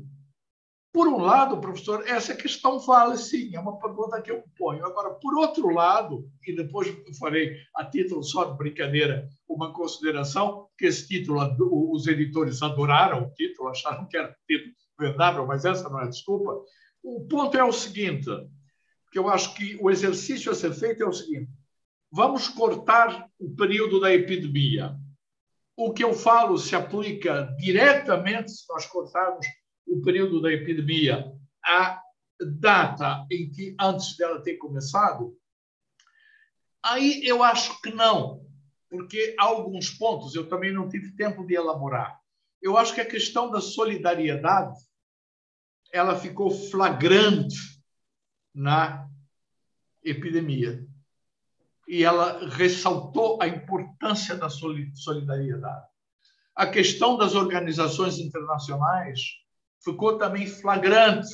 Hoje em dia, há muito mais gente preocupada com as organizações internacionais, porque viram o, o conflituoso e, e infeliz, muitas vezes, relacionamento da OMS com as nações e das nações com a OMS.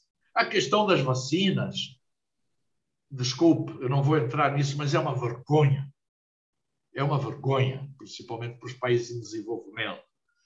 Ah, e a questão do acirramento das relações dos Estados Unidos, que o professor pode dizer mais, já vinha, é verdade, o senhor Trump, no final, fez coisas que o senhor Biden é uma continuidade total. Mas a pandemia, com o finger pointing na China, com países querendo processar a China no Tribunal Internacional. A China, por exemplo, eu fui vacinado, já, tenho, já recebi as duas doses, Coronavac, suprida pelos chineses. Quer dizer, aí os Estados Unidos, os outros dizem, diplomacia da, da vacina é uma perfídia. Então, o acirramento e a, a, o revelar de faces dessa interação foi devido à pandemia também. E o fato que, as, como as potências médias vão se apresentar depois da pandemia, conta, porque muitas terão sofrido coisas que vai, que vai limitar possibilidades que eles tinham antes da pandemia. Quer dizer, essa é a minha resposta global. Agora, eu não acho que a minha resposta invalida a pergunta do senhor. Eu acho que a pergunta acaba, e eu acho que é um exercício e que eu faço digo, toda semana. Aonde é que a pandemia tem um efeito?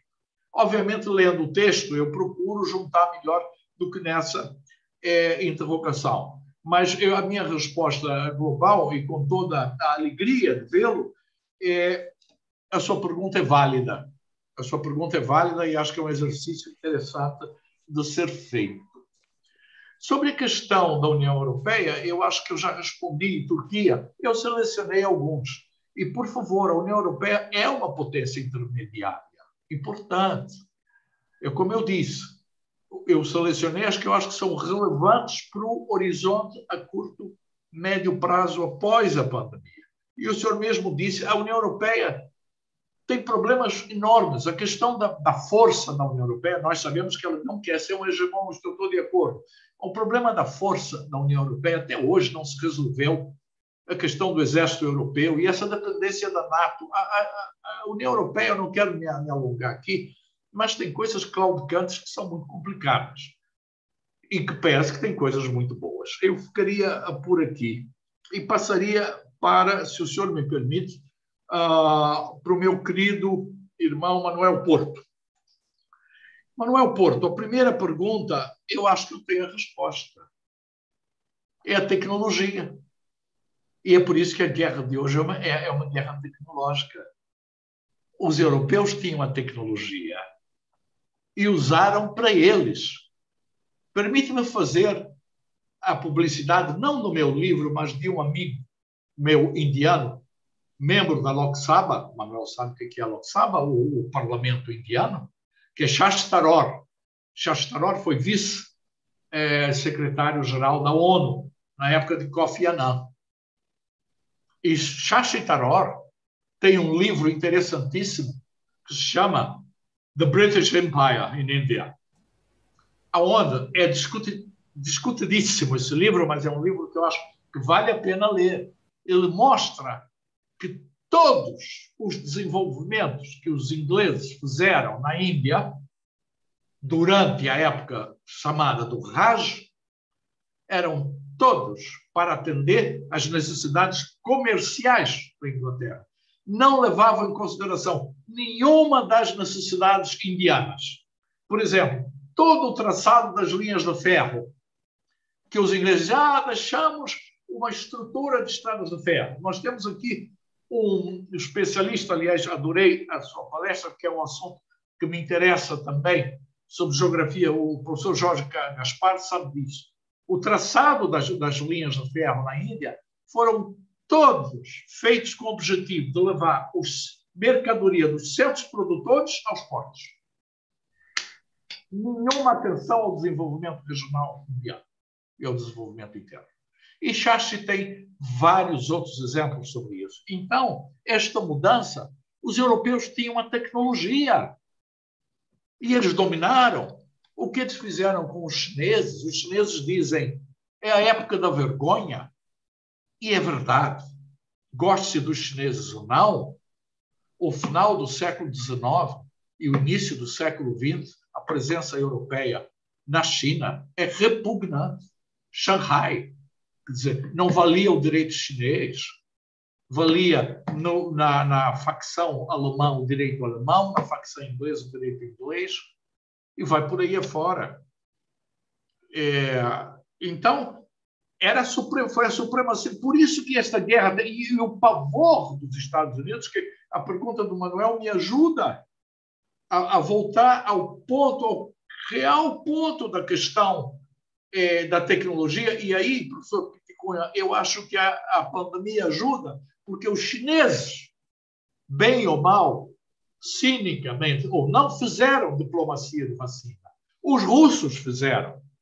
E os indianos quiseram fazer. Não puderam, porque começou uma epidemia, a epidemia se agravou lá e eles tiveram que suprir o mercado Mas Os indianos também tentaram fazer. Os Estados Unidos não. Então, e os iranianos, professor Jorge Gaspar, fizeram a vacina deles. Então, a tecnologia é fundamental. E a guerra agora é uma guerra de tecnologia. E eh, eu acho que respondi a primeira. A segunda, da zona euro, isto é um longo debate, e há outros confrades aqui com quem eu debato isso há décadas.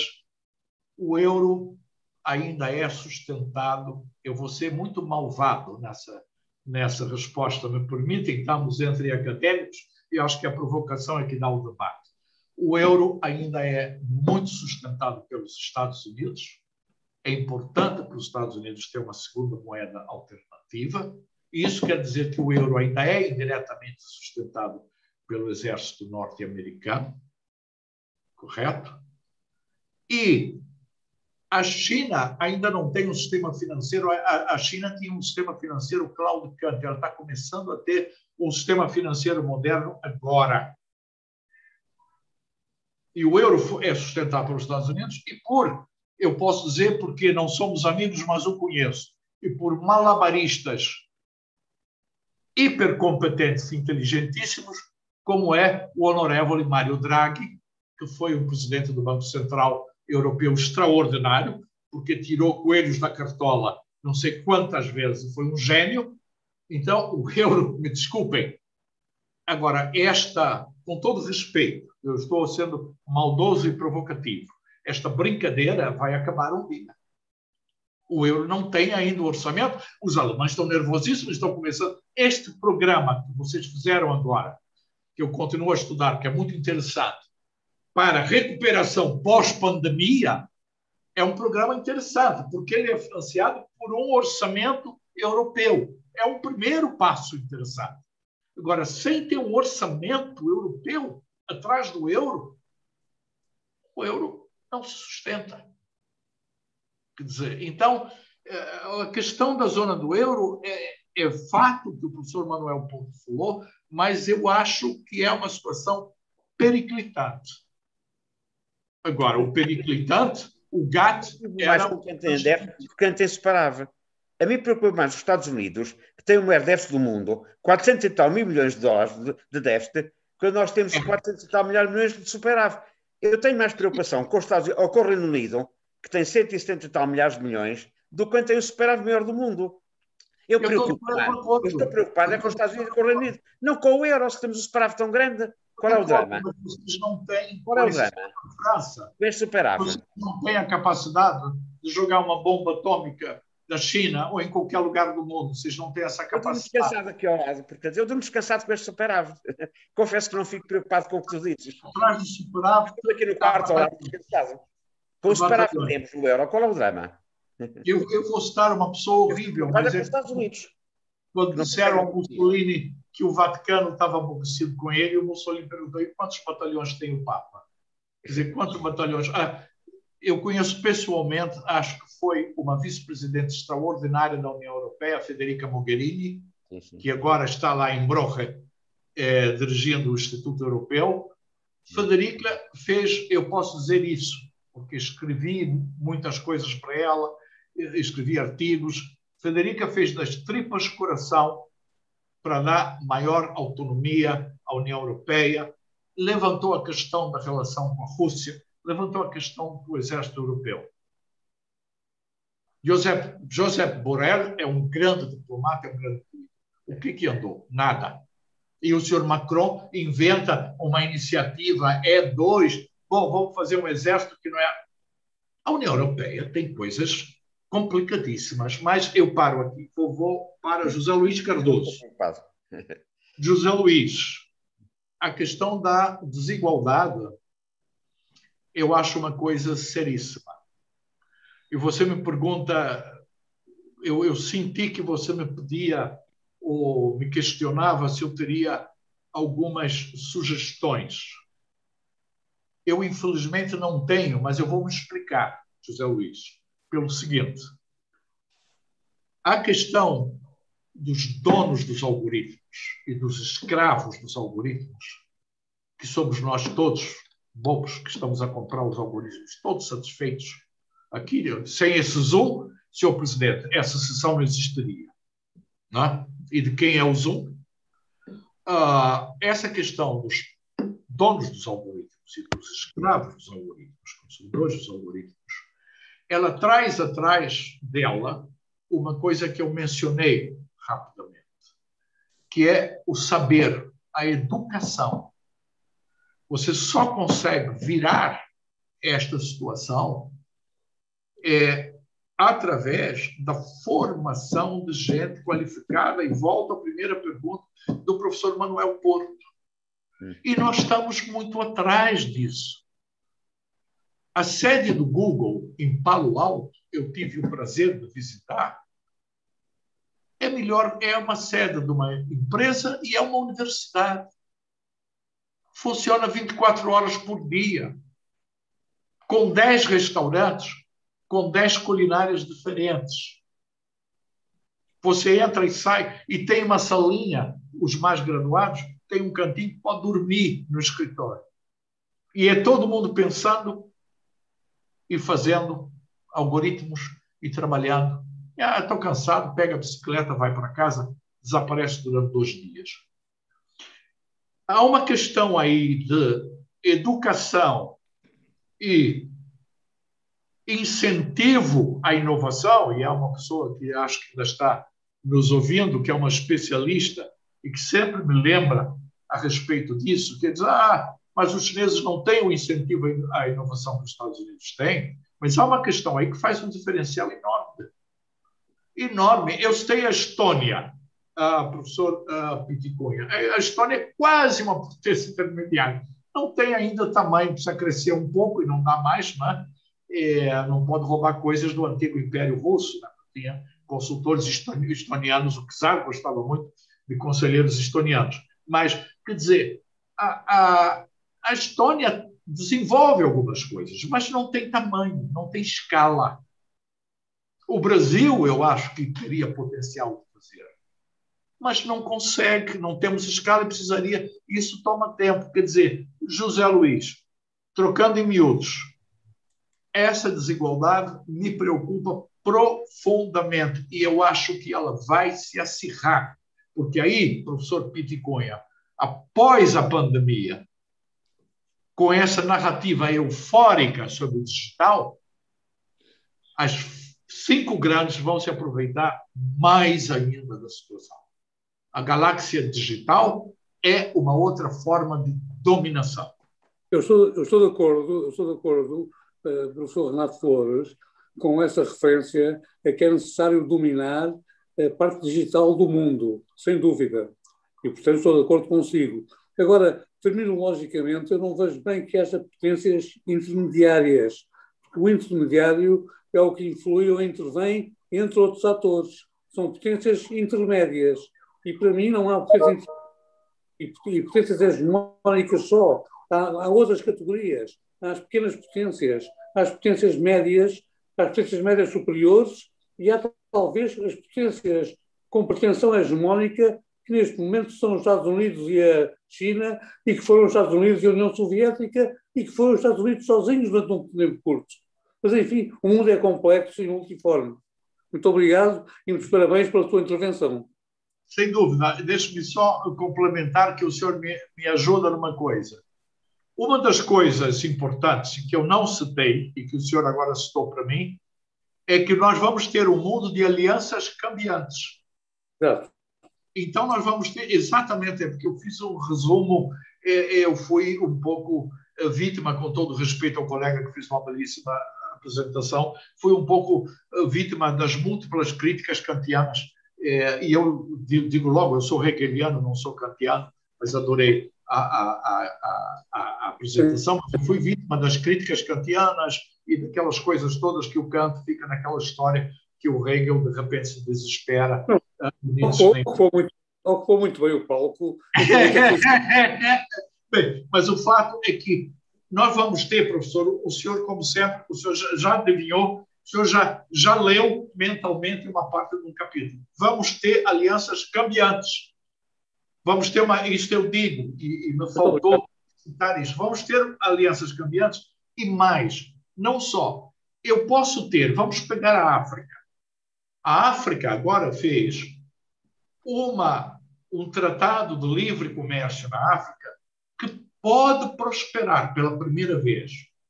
Tem, é, é bastante auspicioso. Se a África faz uma coalizão de países fundamentais, e há potências intermediárias na África, muitas, muitas, isso que eu digo, as potências intermediárias, há potências intermediárias na África, se ela faz uma divisão de países e que começa a ter voz mais ativa fora, isto muda o cenário. Isto é uma coisa que eu discuto. E há um exemplo, por exemplo, os centros de saúde. Havia centros regionais de saúde.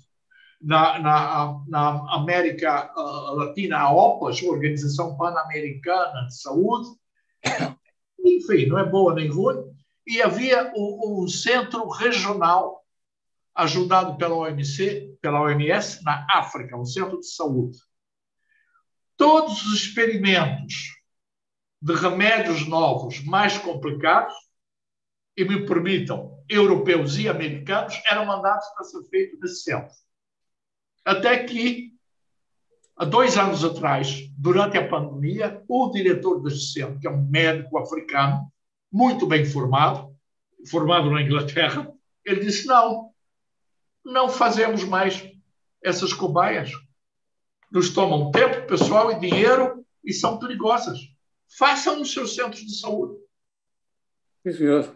Eu só vou fazer eh, experimentos que são relevantes para a África. É uma pequena atitude que vai na linha do que o senhor falou e que mostra o poder das potências intermediárias como também, de repente, uma potência pequena pode ter o poder. Eu cito mais um pouco como um alô aos meus amigos do Mercosul uruguaios, eu cito o exemplo do Uruguai. O Uruguai é um país mínimo criado pelos ingleses para não deixar que o Brasil tivesse as duas margens no Rio da Prata. E o Uruguai é uma potência pequena, não é nem uma potência intermediária, mas regionalmente, regionalmente é muito importante para nós. Muito obrigado. Eu estou a ficar sem no, no iPad e, portanto, vou ter que desligar. Eu sou vítima da tecnologia moderna. Muito obrigado e muitos parabéns renovados. Muito obrigado.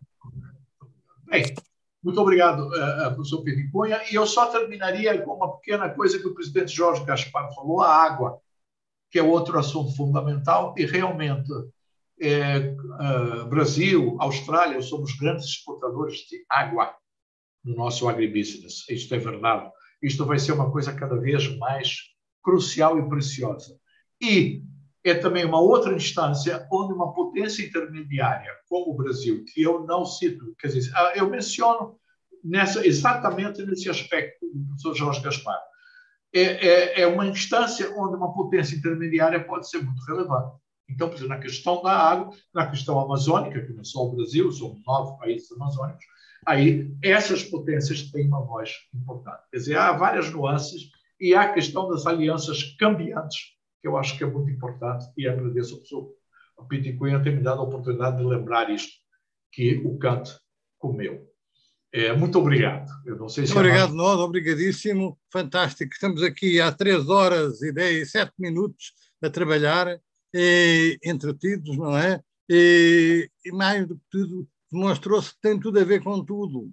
É, a água que trouxe, trouxe agora aqui lembrou-me que o, chine... o, último grande investimento que eu conheci não é, de, não é de uma empresa chinesa, mas é financiado pelo Bank of China, é no Alentejo, e são uns vários milhares de hectares, para quê? Para fazerem carne. Pense é. bem, a carne ainda é mais maquiavélico do que a soja. Importar a carne, não é? É portar, deixar todas as externalidades fora. Uh, e já agora também podíamos começar pela Estónia, a Estónia, partimos do canto para a Estónia. A Estónia, como sabe, é ali o, o saber germânico levado ao tutano no século XIX e tem conseguido manter-se, incluindo na nossa geografia. Muito obrigado a todos por esta sessão. Deixem-me só, muito particularmente, à, à, excelência dos dois oradores, que só assim é que nós nos mantínhamos aqui este tempo e com vontade de continuar mas ainda vos quero agora lembrar que no próximo mês de junho só há uma sessão. Temos, em contrapartida, temos feriado, o que é bom também. E a sessão de letras será no dia 24 e tem duas, duas uh, conferências, uma do João Pina Cabral, uh, sobre a transcendência das canoas às margens da Bahia, uh, e outra do Fernando Paulo Batista, que também uh, tem que ver com a água. Não é canoa, nem é água de rega, mas é a água da história e vai-nos falar dos mares antes navegados ou que nunca tinham sido antes navegados. Então, com isto me vou. Muito obrigado a todos e até à próxima sessão. Boa tarde. Boa tarde. É bom, é magnífico termos estas oportunidades. Obrigado. Formidável. Obrigado, adeus, Manuel. Boa tarde a todos. Obrigado. E Boa tarde a todos. vai o nosso Reorgios. ok.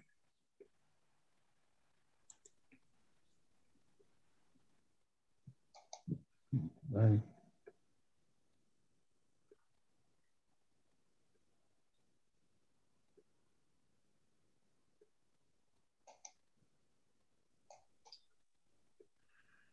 Adeus.